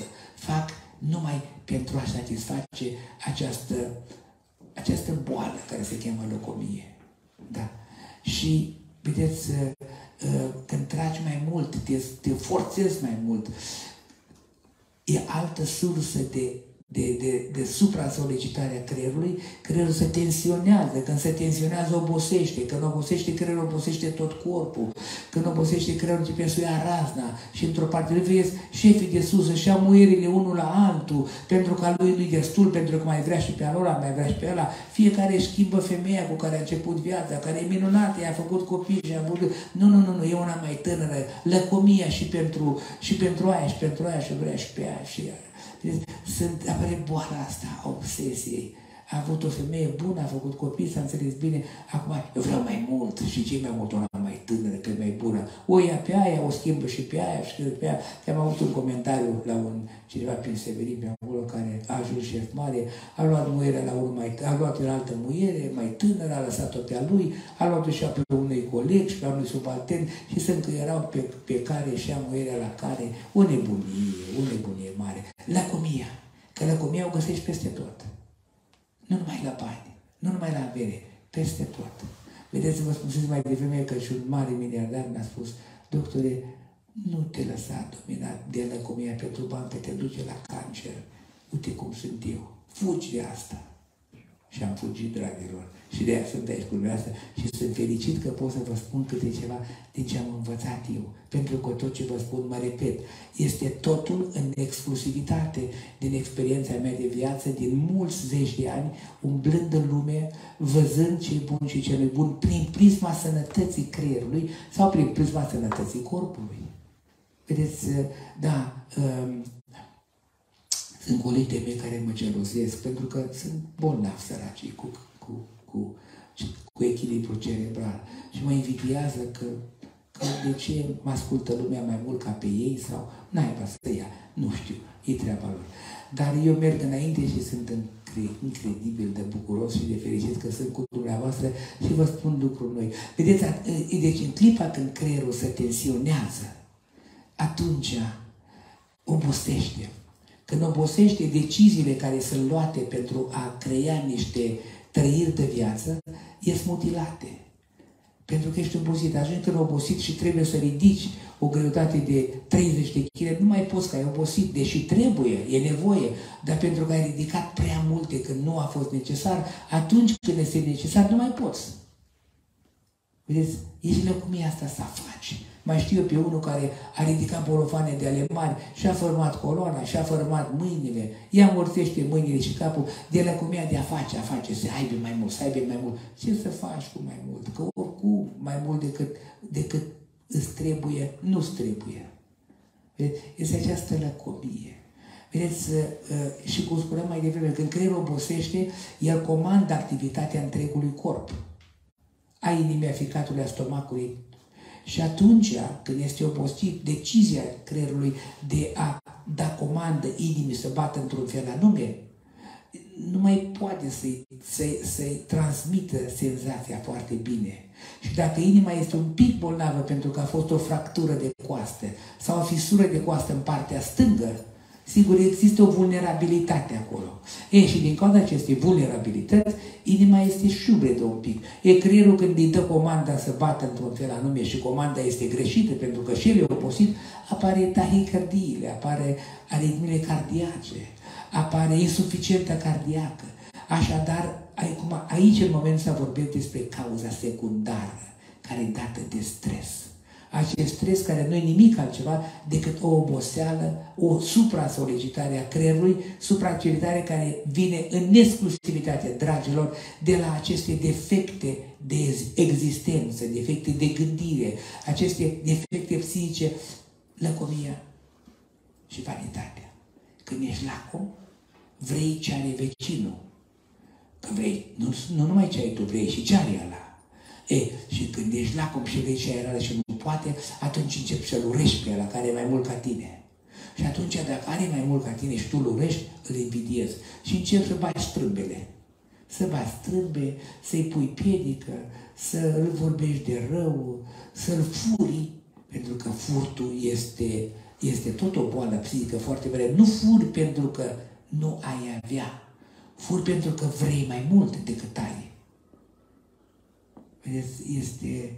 E, a fură că e sărac. Nu e adevărat, dragilor, nu. Am umblat în toată lumea, peste tot. Peste tot. Sigur că mi-am, am, mai, am mai întâlnit prăpădiri care m-au mai ciupit. De ce m-a mai furat pe M-a furat de unul. Dar atât cât m-a furat, câte unii care au fost în jurul meu, dominați de la comie că vrea mai mult, că au prea puțin. Dacă ai puțin, mulțumește de puțin, pentru că atâta trebuie să ai, atâta este menirea ta. Dar ce trebuie să ai tu ce ai? Și ăla, și ăla, și ăla la un loc. Vedeți, este lăcomia, totul pleacă de acolo. Și atunci omul care e lacom și nu are cât ar vrea ă, care ăla, aceea pus și furii. Asta este ideea furtului. Este, sunt aceste probleme psihice care sunt. Vedeți?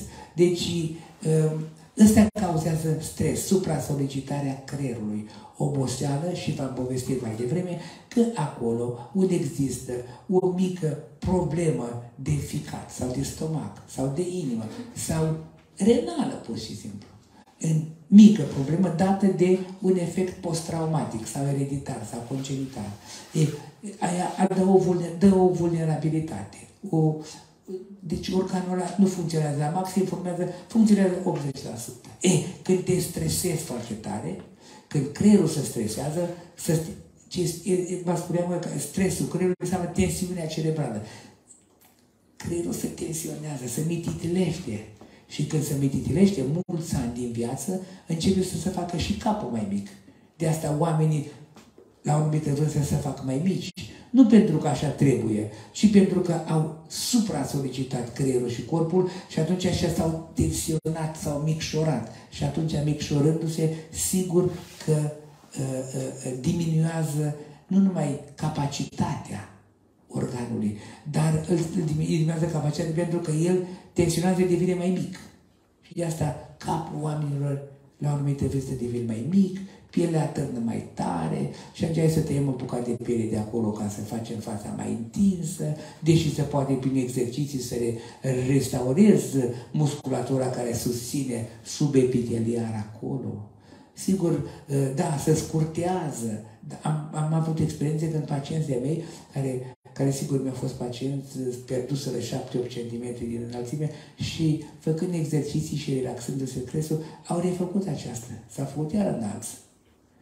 Vă povesteam mai devreme că și apare aceste boli, hipermetropie, miopie, adică se strigă anatomia ochiului. Mușchii care susțin ochiul se scurtează sau unul se scurtează, altul se lungesc și de deformează globul ocular și atunci apare hipermetropie și miopie. Simplu, cu niște exerciții uh, uh, uh, oculare, exerciții de privește în sus, în jos, stânga-dreapta, diagonale, rotații și odini. Mușchii se hipertonificează, care sunt prea scurt sau tensionați, îi lungești, ăia care, care au antagonici, care au, au, sau au devenit mai flacși îi întărești și poți să reechilibrezi globul ocular și să le faci un pic ochiul. De asta la bătrânețe uh, uh, ochii uh, se strică. Dar nu pentru că sunt bătrâni. Nu! Pentru că te-ai stresat de-a lungul vieții și acolo ochii ei supra-solicitat ca să, să tragi mai mult pe ei și atunci sigur că ei devin hipertonici mușchii de la ochi. Vedeți? Deci am definit și cauza secundară care este dată de stres. Vă vorbeam că atunci când ai o discopatie la spate, mică, ai ridicat ceva și s-a lezionat un tendon. E bun, e și dacă s-a lezionat, stai, te relaxezi, îl deci cu o centură și îți vezi viața mai departe și merge. E când te stresezi, când te superi, când te enervezi, atunci se contractă creierul, dar se contractă tot corpul și se contractă acei mușchi care erau lezionați. Când e contracția care deja erau lezionați și erau hipercontractați, să strâng și mai tare. Și atunci strânge discul dintre vertebre și se formează herniile de disc. Dar vrei să le repari? Sigur că poți. Orice se poate repara. repara. Nu există nimic care se poate repara. Totul. Dacă înțelegi relația asta între calitatea gândirii și respectând legea lui Dumnezeu, dacă înțelegi relația asta între existența ta și menirea ta, poți să trăiești sute de ani. Poți să trăiești cât vrei și poți să faci cât vrei, dar să renunți la lăcomie, să renunți la vanitate, să și încet, încet să te desparți de lăcomia materială și atunci poți să devii fericit. Și când devii fericită, ești în stare chiar să iubești. Nu, nu, nu, nu. Iubești pe, pe, pe băiatul ăla că ți-a luat o pereche de pantofi sau pe fata aia că te-a lăsat să, nu știu, să o strângi în brață. Nu. Iubești pentru că are un suflet bun, frumos, care, o gând, care are o gândire frumoasă, bună, sănătoasă. Pentru aia, iubești ce este înăuntru, nu ceea ce se manifestă afară. Deci tot felul de fete care le cumpără tot felul de șmecheri, le ia de mici, le ia, dă, dă cu o mașină frumoasă în ea, îi cumpără niște posite extraordinare, Pierre Cardin sau la Floren și aia cade grămadă, mamă ce iubesc pe ăstea, uite ce chestii mișto mi-a luat, mamă ce iubesc. Și gata, așa fără mat existența, așa fără mat viața. Vedeți? Aici este, aici este cheia unei vieți sănătoase. Aici este cheia unei gândiri cum trebuie și eliminarea stresului și să te bucuri de viață, să te bucuri de, de ceea ce este în jur. Vedeți, uh, uh, numai așa ajungi să fii fericit. Învățând să trăiești, să nu minți, să nu înșeli, să nu iei nimic de la nimeni, să iei decât, să, decât ce ești în stare să creezi la mod onest, pentru că numai aia este a ta. Celelalte sunt aluații. Lasă-i pe ea în pace. Dragilor, eu cred că mi-am făcut un pic uh, un pic uh, menirea pentru prima parte și o să vorbim în a doua parte un pic despre conflictul social, despre boala societății. Aia e dură, să știți. Pregătiți-vă. Hai să luăm o pauză de câteva minute, dar înainte de pauză, dacă cineva are o întrebare vis-a-vis de ce am spus până acum, uh, îl poftesc să-mi o pună, iar eu mă poftesc să-i răspund cât pot mai bine. Aștept.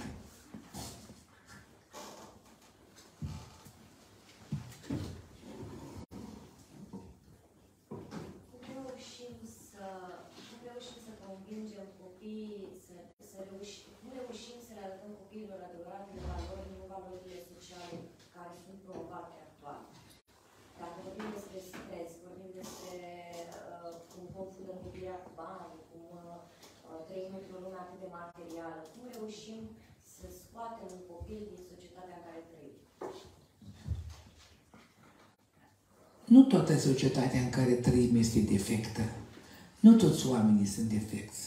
Dar dacă noi reușim să fim corecți, atunci este simplu să îl învățăm pe copil să gândească corect. Pentru că o gândire corectă ajută un copil să, să-și păstreze genialitatea. Simplu, îl ferim tot, tot, toți, toți cei din jur care au defecte de astea de personalitate. Îl ferim. Îi facem un anturaj care un de anturaj de oameni care vedem că sunt curați, care vedem că sunt onești, care vedem că sunt cinstiți. Și dacă copilul se duce la școală și vede alt copil de alt copil, unui bogătan care vine cu Mercedes sau cu BMW acolo, spune, dragule, noi nu avem dintre aia și suntem mai fericiți și suntem părinții tăi. Adică îl, îl înveți valorile, îl expui. Pentru că, pentru că vedeți, să, să ai un copil sau este o mare responsabilitate și ai datoria să, să, să creezi din el o, o valoare. Iar valoare, uh, fără să învețe principiile astea divine, onestitatea, nu e posibil. Nu. Poate să fie aparent, dar nu. Simplu. Căutați întotdeauna să nu mințiți copilul. Căutați întotdeauna să fiți oneste și cinstit cu copilul. Să știți că, că fiind onest, Ă, câștigul, fiind onest, este mult mai mare decât câștigul pierderii. Dacă ești onest, pierzi astfel, da. Dacă câștigi toată viața, câștigi în primul rând ă, respectul sau apropierea de la anumiți oameni, nu de la toți, că sunt unii care sunt bolnavi de gelozie și invidie. Lasă pe la parte. Nu, nu ai ne trebuie nouă. Dar dacă pierzi aspinul, câștigi toată viața. Dacă câștigi astfel dezonest, făcând o șmecherie, trăgându-i, uh, uh, uh, profitând de cineva, e, atunci pierzi toată viața pentru că acea informație pe care o extragi din această trăire, din, din trăirea respectivă și o, depar, și o depui în departamentul memoriei conștiente, când, când folosești acea informație să o procesezi, când o, folos, când o procesezi spre folosul unei decizii, decizia aia va fi defectoasă și suferi. Atunci când acea decizie ai, ai, ai, ai uh, transformat-o într-o trăire. Când treci tu prin trăirea aia, suferi, te simți ne, nefericit, sau te simți neîmplinit, sau te simți nemulțumit, sau, sau dintre astea, vedeți, uh, important este una, controlezi anturajul din jurul copilului. Și a doua, tu trebuie să fii un exemplu de onestitate, de cinste, de corectitudine. Dacă copilul vede de la mamă, de la tată că e corect, că cinstit, atunci el automat, jumătate din persoane, personalitatea lui viitoare va copia mama și tata. Și dacă îl ferești de, de, de, de persoane din astea cu un caracter defectos, atunci poți chiar 70-80% să creezi din el un, o valoare imensă. Pentru că creierul gândește cel mai bine atunci când nu este, când e pur, când nu este impurificat, când nu ajunge acolo tot felul de, de rugine, tot felul de gunoaie, tot felul de gândiri defectoase, numesc asta, iertați-mă. Uh, da. Când, când creierul stă acolo și funcționează pe baza onestității, chiar dacă nu le place la unii. Sunt mulți copii sau mulți care râd pentru că ei sunt învățați să gândească greșit. Deci nu, este simplu. Foarte simplu. Iar dacă vreți să aveți copii sănătoși, ăștia tineri care se... E, o vreme înainte să, să, să pui bazele unui făt, trebuie să duci o viață foarte relaxată, pentru că în minte stresul se transmite la copii și sunt, de multe ori am, am primit întrebarea următoare. Doctore, dar de ce sunați copii și la începutul vieții au cancer? Simplu. Ați auzit de legea asta, de regula asta, care este de o, de o, de o corectitudine incredibilă. Copiii plătesc greșeala părinților, pentru că părinții a făcut ceva rău înainte. Și răul se transmite la copii ca trăsătură anatomopatologică. Nu, nu, nu, nu ca pedeapsă. Nu că bietul copil nu-i pedepsit pentru mica. Nu, pedeapsă o primesc părinții când vede copilul că sufere. E asta altceva. Dar, dar atunci când faci rele, te stresezi, stresul îți afectează și celula la bărbat spermatozul, la femeie ovulul și atunci, atunci bazele fecundare a unei, la, la, la punere bazelor unui copil din niște celule care sunt bolnave de la stres, pentru că stresul este uneori mai mare, mai, mai uh, dăunător decât, uh, decât afecțiunile structurale și deformează celula, o îmbolnăvește și atunci o celulă bolnavă dă naștere unui copil bolnav. Și uite așa se întâmplă lucrurile astea. Da? Iertați-mă dacă v-am dat un răspuns atât de uh, puțin drăguț, dar de folos. Următoarea întrebare.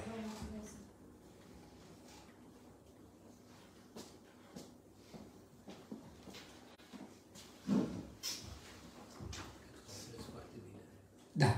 Deci, dacă nu avem întrebări, hai să mergem în partea a doua. Să cer puțin scurtă.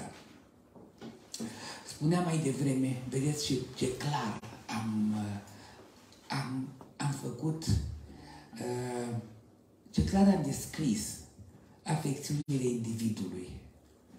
Afecțiuni care se transmit societății, pentru că societatea e făcută din indivizi. Vedeți? Uh, iar știți, spunea Einstein, un lucru greu. Într-adevăr, ăsta a fost băiat de știr, domnule. A fost extraordinar. N-am știut atunci. În trecutul meu, sigur că viața este o școală și pentru mine, dar uh, n-am, uh, n-am putut să...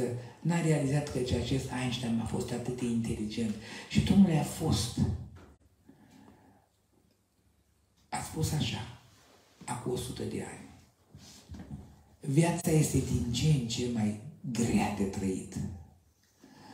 Viața este din ce în ce mai suferintă. De ce, dragilor? Nu, nu, nu pentru că sunt așa, așa mulți oameni evil, că sunt, nu din cauza oamenilor evil, adică diabolici care fac rău. Nu! Sunt din cauza că celorlalți nu se opun și nu îi opresc nu le limitează răul.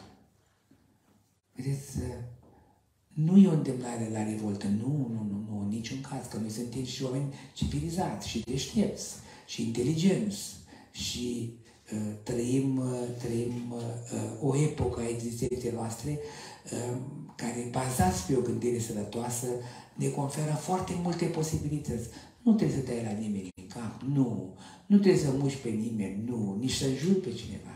Dar trebuie să te gândești ca să oprești într-o formă civilizată, decentă, să oprești acești oameni care sunt făcători de rău. De rău. Vedeți, noi românii care suntem aici și care avem o tradiție, care avem o cultură, care avem niște predecesori extraordinari, vin din alte părți și încearcă pentru ca să vină aici să ia cât mai mult, să ia cât mai mult. O jumătate din București, parcă am auzit că nici nu mai este stăpân, nici nu mai sunt români proprietari. Lăcomia, care v-am spus mai devreme, vine să ia, să ia, să ia. Și atunci găsește doi români și bagă întregi între, între ei și să încaie ăștia doi și al treilea vine și câștigă. Vedeți, este cei lacom pentru a-și împlini această lăcomie au tot felul de tehnici, tot felul de extra, lucruri extraordinare. Vedeți, au tot felul de, de, mani, de, de uh, uh, metode, de modalități. Um, România, am, am, fost, am văzut o chestie extraordinară la un, uh, într-o emisiune pe internet. Era un băiat tânăr care era istoric și fusese angajat de niște turci ca să vorbească despre conflictul ăla turcesc de pe perioada lui Vlad Țepeș. Vlad Țepeș fiind un simbol, da, sunt multe minciuni despre bietul Vlad Țepeș. A fost un, for, un român formidabil, extraordinar. S-a mințit de el că ar fi tras în țapă pe toată lumea. A tras omul de către ea care a venit să facă rău. Dar sigur că și ea care a venit să facă rău a venit să furie, să minte, să înșele și atunci omul, ca să-i oprească, ea a creat această, această, bă, rog, era creată deja a tras în țep, în țapă, ca să nu mai vină ăia să ieșele pe români. Ai bai din Făgăraș, bai din uh, uh, Brașov, bai din Sibiu, care erau o altă nație și vineau și profitau de cursăgădenie și naivitatea oamenilor. Și atunci țepișeau să-i, să-i, să-i oprească. Dumnezeu, oprește-te, treci cu marfa pe aici, ea plătește tribut. Ăia nu. Păi atunci te trag în țapă dacă tu, tu la oamenii mei le iei bani, dar uh, eu nu ție. Deci erau, erau niște incorectitudini și sigur că, așa, în sfârșit, asta am învățat-o de la, de la a prieteni care sunt mari istorici și sunt români în același timp. Uh, și băiatul ăsta avea un interviu la care cel care îl, îl intervia uh, uh, spunea, domnule, dar stai puțin, uh, de ce așa? Eh, domnule, uh, din câte întrebări îi punea jumătate, nu mi-amintesc de asta, nu știu pe asta. Ăsta pot să angajat de o companie turcească să facă un film despre această dispută între cei doi.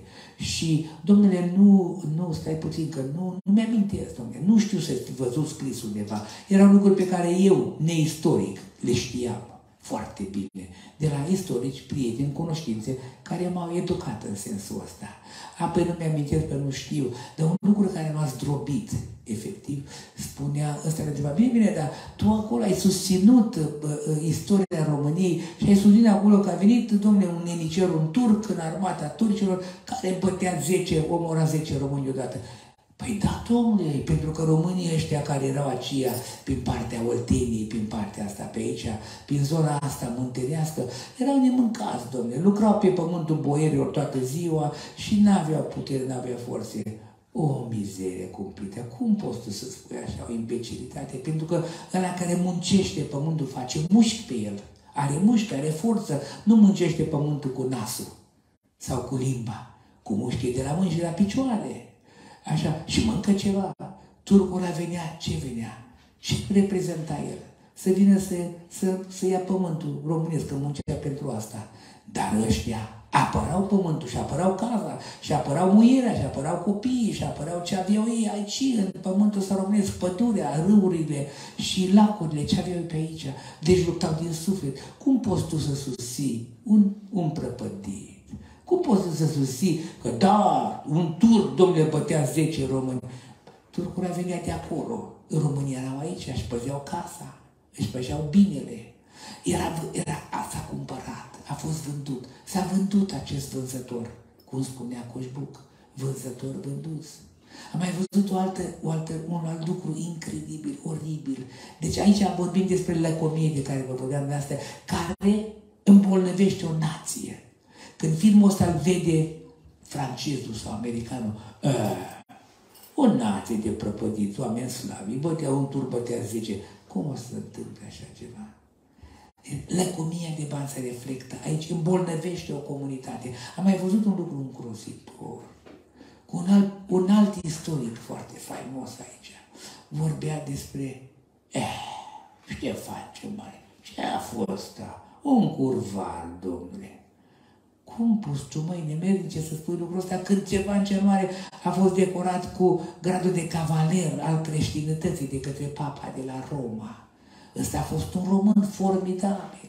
A fost ceva, a fost un... E sigur că iubea și el câte o femeie. Ei, și ce? Să iubească nene cât poate, dacă avea ce. Și cu ce mai ales, nu? Sigur că da, dar... Dar a fost un român fabulos și extraordinar. E, și venea să se demigreze, pentru că era plătit de unii care să facă. Eu văd de afară cum se demigrează, cum se îmbolnăvește nația română. Am văzut un lucru îngrozitor, îngrozitor. Am, am văzut un copilaș, un geniu, mai mult decât un geniu, trebuie să vă mărturisesc că, că uh, am, am văzut multe zeci de țări pe planetă, mulți copii. Și am văzut un geniu, un copilaș la Potoșani, care a fost un copilaș un geniu, ceva incredibil. Am plâns de câte l-am vorbit. Se chema Presacariu, ceva, un copil de șapte ani. O minuție de copil, care simboliza o inteligență a unui neam. Era acel neam, era român, românesc. Era formidabil. Poezii spunea poezii. Și în clipa care a fost premiat cu, cu, cu cea mai mare valoare românească, o de șapte ani, auzi, domnule, a fost declarat că este antisemit. Ce știa Betty copilul ăla de antisemitism? Numai ca să dea în cap în clipa că se naște. Vedeți? Sigur, eu nu zic uh, că fiecare face ce vrea. Îmi povestea un băiat inteligent, un actor, zice, zic, zic, mă, dar de ce așa? E pentru că unii își fac treaba, iar românii nu și-o fac pe lor. Unii își fac treaba lor, Ce au ei? Misiunea lor, au tehnica lor, iar unii nu și-o fac pe a lor. Vedeți, este îngrozitor. Uh, uh, e o boală.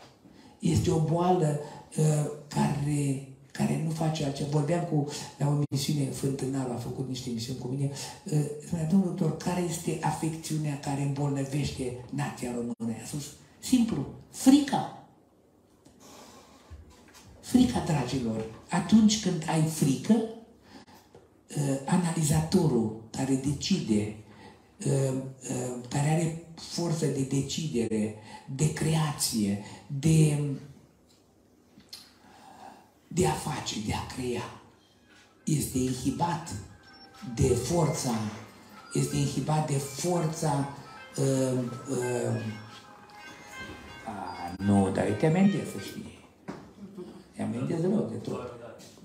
Da. Te-am iertat. Da, așa că stai aici. Uh, vedeți, uh, atunci când frica ni s-a, ni s-a injectat, când au venit comuniștii, cine erau comuniștii? Erau unii veniți de pe Rusia, de pe acolo, care au vrut să ne încalece foarte bine. Și ne-a băgat comunistul ăsta, care a fost o minciună, de fapt, n-a fost comunism, a fost o formă pe toată planeta, dictatură care se cheamă democrație. Nu este, nu e, nu e democrație e decât o minciună prin care se manipulează și se cheamă dictatură, așa cum comunismul a mințit. Așa, pentru că comunismul este o formă, este o formă, o structură comunitară minunată când este comunism dar a fost decât o minciună. I-a fost comunism că cu asta să vină și să creeze o dictatură, ca unii să trăiască bine și majoritatea să fie sclavi ălora care sunt sus acolo. A mințit lumea. Vorbeam cu o, o, o fată din Rusia, care i-a spus, bă, păi ați venit și ne-ați, ne-ați fărâmat pe noi, ne-ați, ne-ați rupt, ne-ați, mi-ați mințit, ne Dragă doctore, era rusoaică și educată foarte. Să știi că pe noi ne-au, ne-au rupt mai rău ca pe voi. Vedeți? E adevărat că a plecat de la noi. Iau de mulți căci critică America, dragilor. America este o țară superbă, dar a rămas o coadă de ciocan pe care ciocănește diverse comunități și le îmbolnăvește. Le supune. De ce le supune? Pentru ca să își facă treaba să devină proprietarii comunității respective. Vedeți, iar boala care îmbolnăvește o comunitate este acea lăcomie a unora de să dea în țara lor, în neamul lor, ca ei să facă, să facă acolo un gologan. Lângă la care, care era angajat de turci. Cum să spună el acolo că, că românii erau slabi, că turcii erau tari. O fi fost turcii tari, pentru că adunau oameni de peste tot. Dar și-au făcut armata așa. Dar românii le-a ținut piept, s-au luptat și și-au apărat glia asta lor. E adevărat că greu, pentru că erau, erau dezbinați și erau puțin. Singurul care, care a reușit să adune România a fost Mihai Vitează. O superbitate, o minunăție. Și pe ăsta îl critică, ba din potrivă. În Oradea i-a scos statuia afară și l-a pus pe un, pe un, un rege ungur. I-a făcut trei statui. Și, și Mihai Vitează, care a unit ținuturile astea, nu? Unde Ardealul era trei sferturi românesc și un sfert ăsta care a venit, care a venit din Asia de acolo. E, bine, bine, au venit, România a fost drăguț, i-a primit, dar bunătatea exagerată este făcătoare de rău. Vedeți? E bun, da, dar la un moment dat când vezi că, că vine ăla în casă ca să-ți ia muierea, atunci te apuci să, să-ți aperi, să-ți aperi familia, să-ți aperi neamul. Dar este, vedeți, este această boală socială care se cheamă frica. Vindecați-vă de frici fricotași români, pentru că atâta timp cât suntem niște, uh, uh, uh, uh, cât suntem uh, protejați de Dumnezeu, atâta timp cât avem un spirit, spiritul ăsta fiind un deget divin, iar noi slujim misiunea pe care spiritul are nevoie de ea, suntem protejați de Dumnezeu. Nu trebuie să ne creăm. Minciuna, uh, uh, frică nu există. Este, o, o, este doar un instrument prin care, prin care suntem, societatea este infectată. Societatea este uh, uh, îmbolnăvită.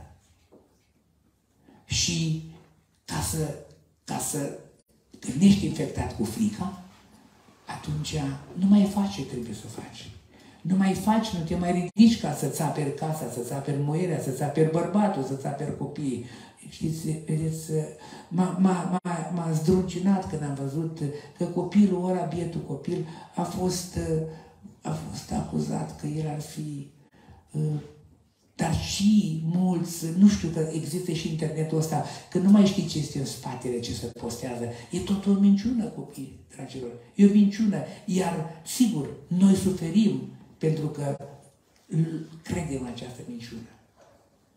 Da suferim și atunci această minciună își face treaba și ne îmbolnăvește. Ne supune, ne credem toate, ne învrăjbește unii cu alții.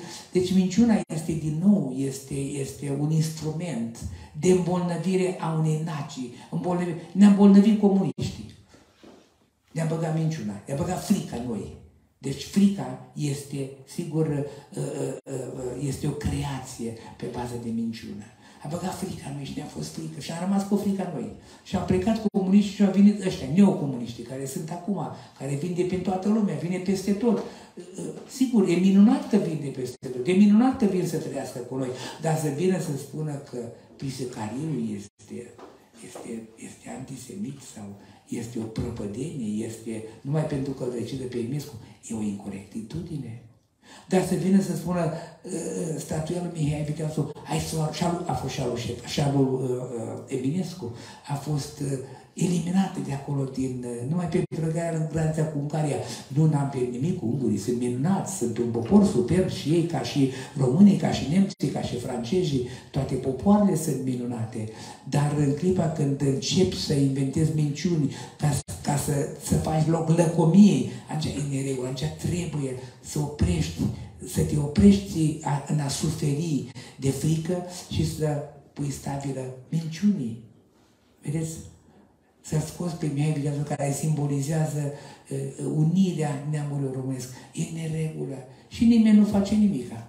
Că sunt acolo niște șmecheri care și-au luat șpaga de la austrieci, de la nem, de la cine și-o fi luat-o și l-a băgat și pe Ferdinand în locul lui Mihai Eminescu, în locul lui lui uh, Mihai Viteazu e foarte bun, Ferriera a fost un alt întregitor al neamului românesc, dar nu-l scoate pe ăla, pune unul lângă altul.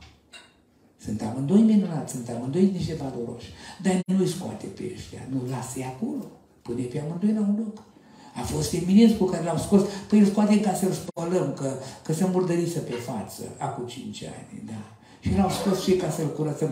Și nu ne-a băgat niciodată, numai pentru că a simboliza valoarea culturii românești, pentru că toată lumea l-au spus și pe ăsta, bă, că sifilis, bă, că nu știu ce. Adică, știți, de, de, defăimează pentru ca o română să plece capul și să-l încale și băieții care au nevoie de ce au ei nevoie să, să ia, să facă, să treacă.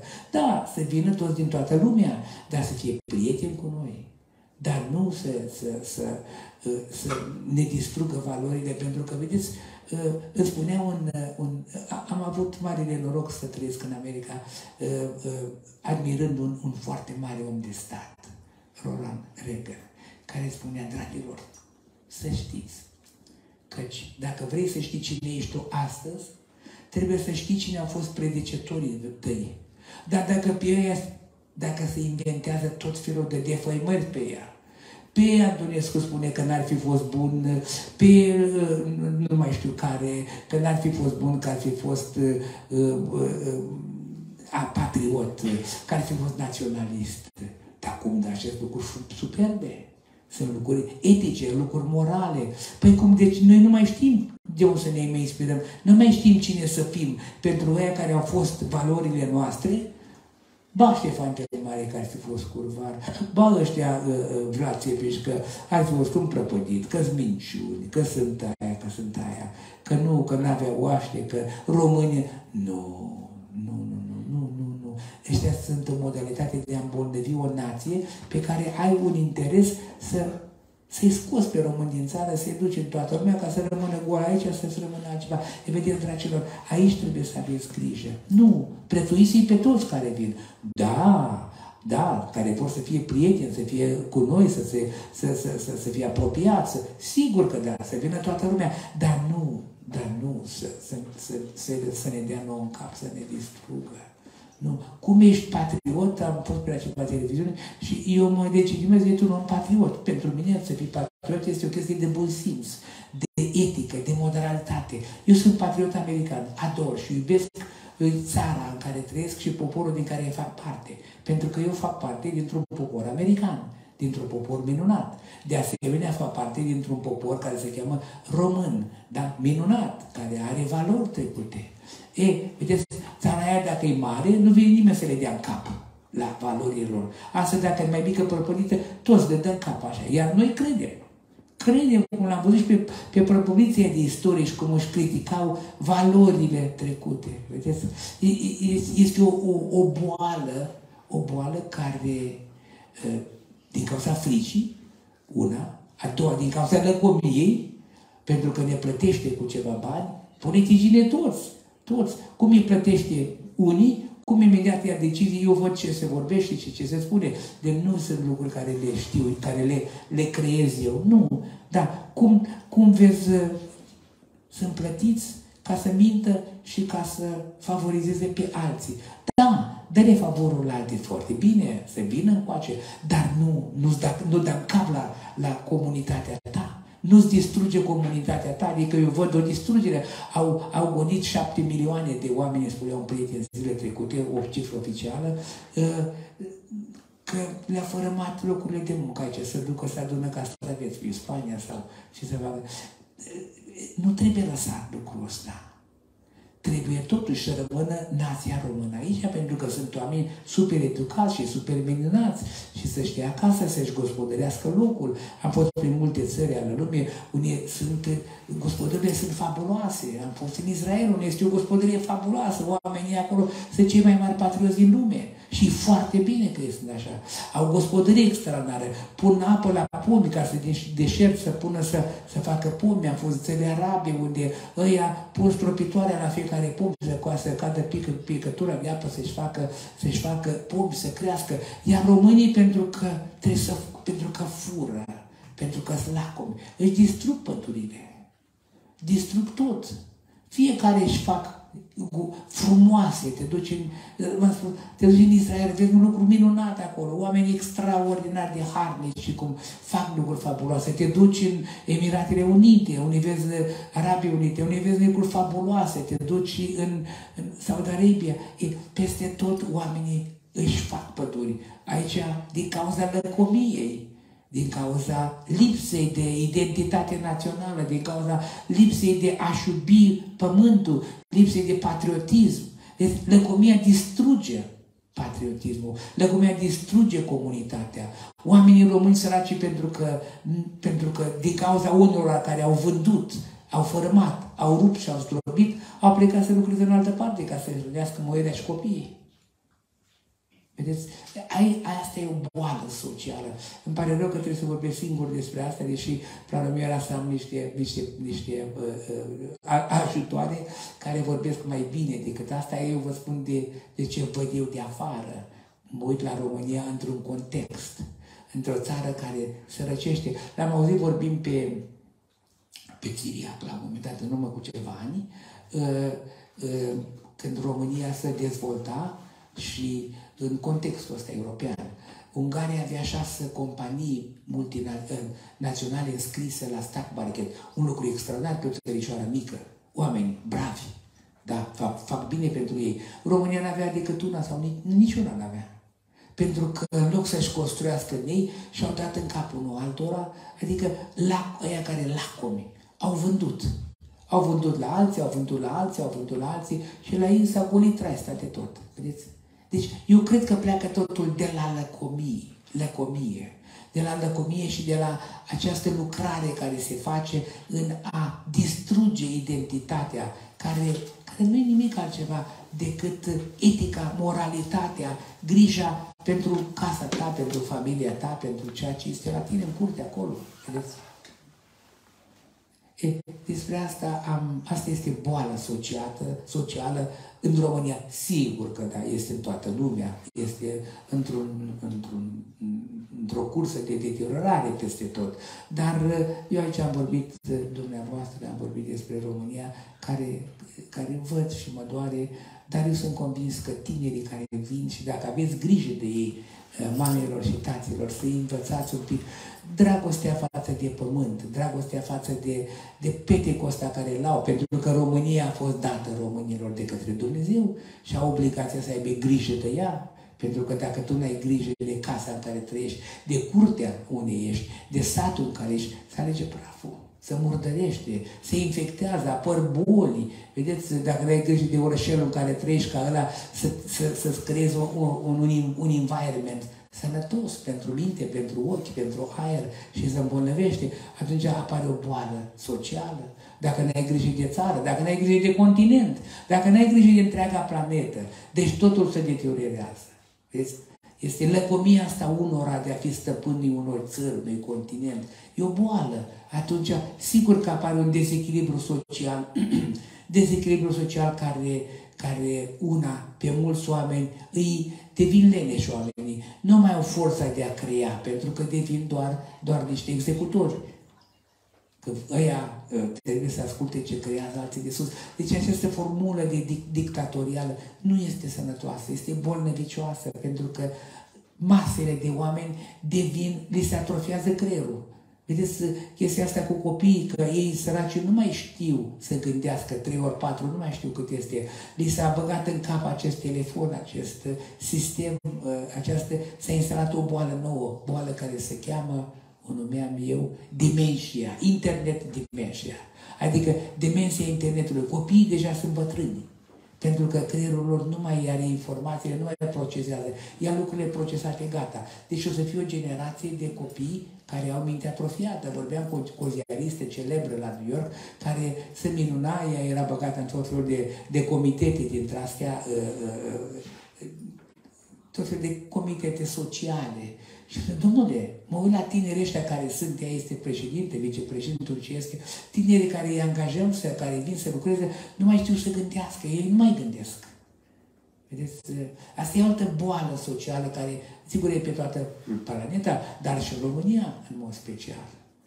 Deci apare, copilul devine adict la, și adulții mulți devin, copilul devine adict la telefonul ăla și acolo face jocuri și acolo uh, e, toate chestiile astea, uh, poate sunt cu socoteală, făcute intenționat, dar și ce dacă?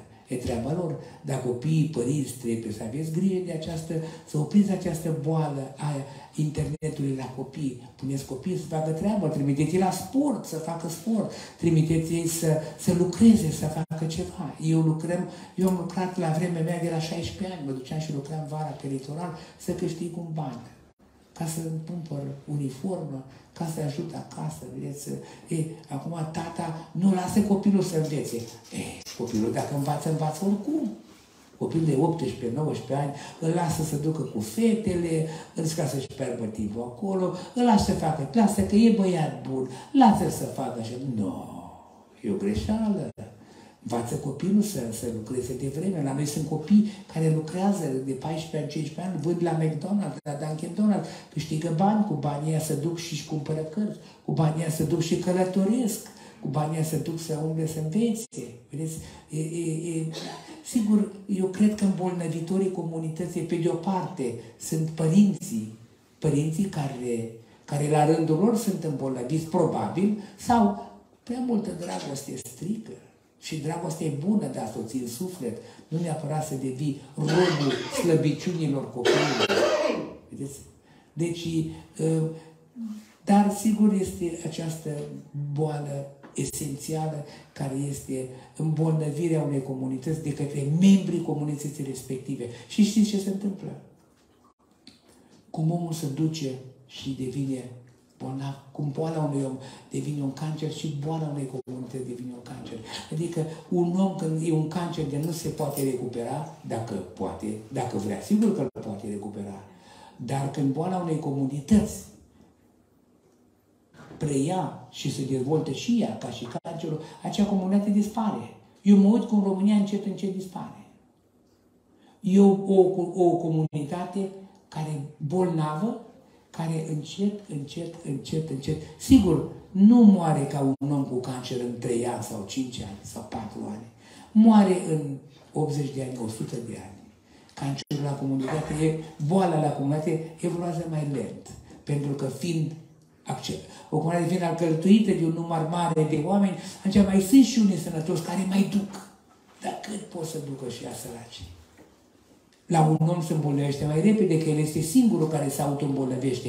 El se stresează, el, el uh, uh, are uh, slăbiciunile de care v-am vorbit mai înainte, structurale, dar prin, prin gândirea lui își produce stres, stres care îmbolnăvește corpul și îi face un cancer. El la comunitate este un pic mai, adică un pic, este mai lentă, că pe acolo mai sunt câte unii. Mai sunt câte unii care duc. Dar cât să ducă și ea săraci? Duc până nu mai pot. Și copiii care se nasc, pentru că părinții nu sunt atenți să învețe să-și prețuiască casa, să-și prețuiască pământul, să-și prețuiască nația, să-și prețuiască țara, să-și prețuiască continentul, să-și prețuiască pământul. Adică peste tot același, exact această formulă de deteriorare.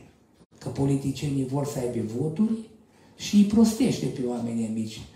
Politicienii vor să aibă mai multă putere pentru că sunt lacopi.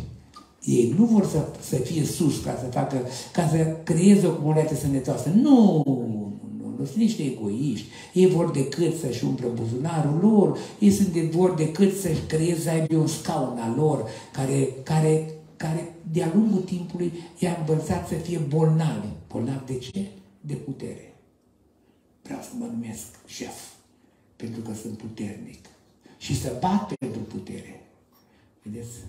Dragilor, iertați-mă că v-am vorbit despre boala comunităților care, unei comunități care este dată de acumularea bolilor indivizilor care creează comunitatea și care și acolo este lăcomia și vanitatea sau mândria.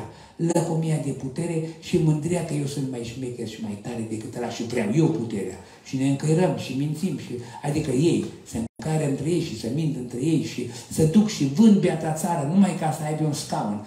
Mă auzeam văzut pe niște politicieni care au vândut, au vândut, au vândut și pe urmă că și-a făcut treaba cu ei, i-a băgat în pușcărie să scape de ei. Deci, vedeți, cam asta este. Atunci când faci rău, rău îți vine. Fă bine și îți vine bine. Da. Uh, dragilor, vă mulțumesc că ați fost alături de mine aici. A fost, uh, mă simt că mi-am slujit un pic uh, uh, menirea de a vă fi alături și să vă spun câte ceva din ce am observat, ce am văzut ca om de sănătate, ca om de sănătate a omului și om de sănătate a comunității, om de sănătate a societății, pentru că atunci când te interesează sănătatea individului, automat intri în sănătatea unei societăți din care individul face parte. Așa că eu vă Vă mulțumesc că ați fost alături de mine, așa că cred că v-am spus suficient de informații ca să le aplicați și despre îngrijirea copiilor dumneavoastră, și despre îngrijirea comunității dumneavoastră, și despre îngrijirea, uh, eu știu, țării și sigur, nu nimic violent, nu, să fim prieteni cu toți, dar atunci când îi vedem că fac rele, să oprim, să-i tragem mică, băiatul, vezi că tu îți, îți construiești o karmă negativă, făcând un rău mie, din principiul la comunitare, îți face o rău și ție. Pentru că totul se plătește. Vă mulțumesc și să aveți o zi sănătoasă.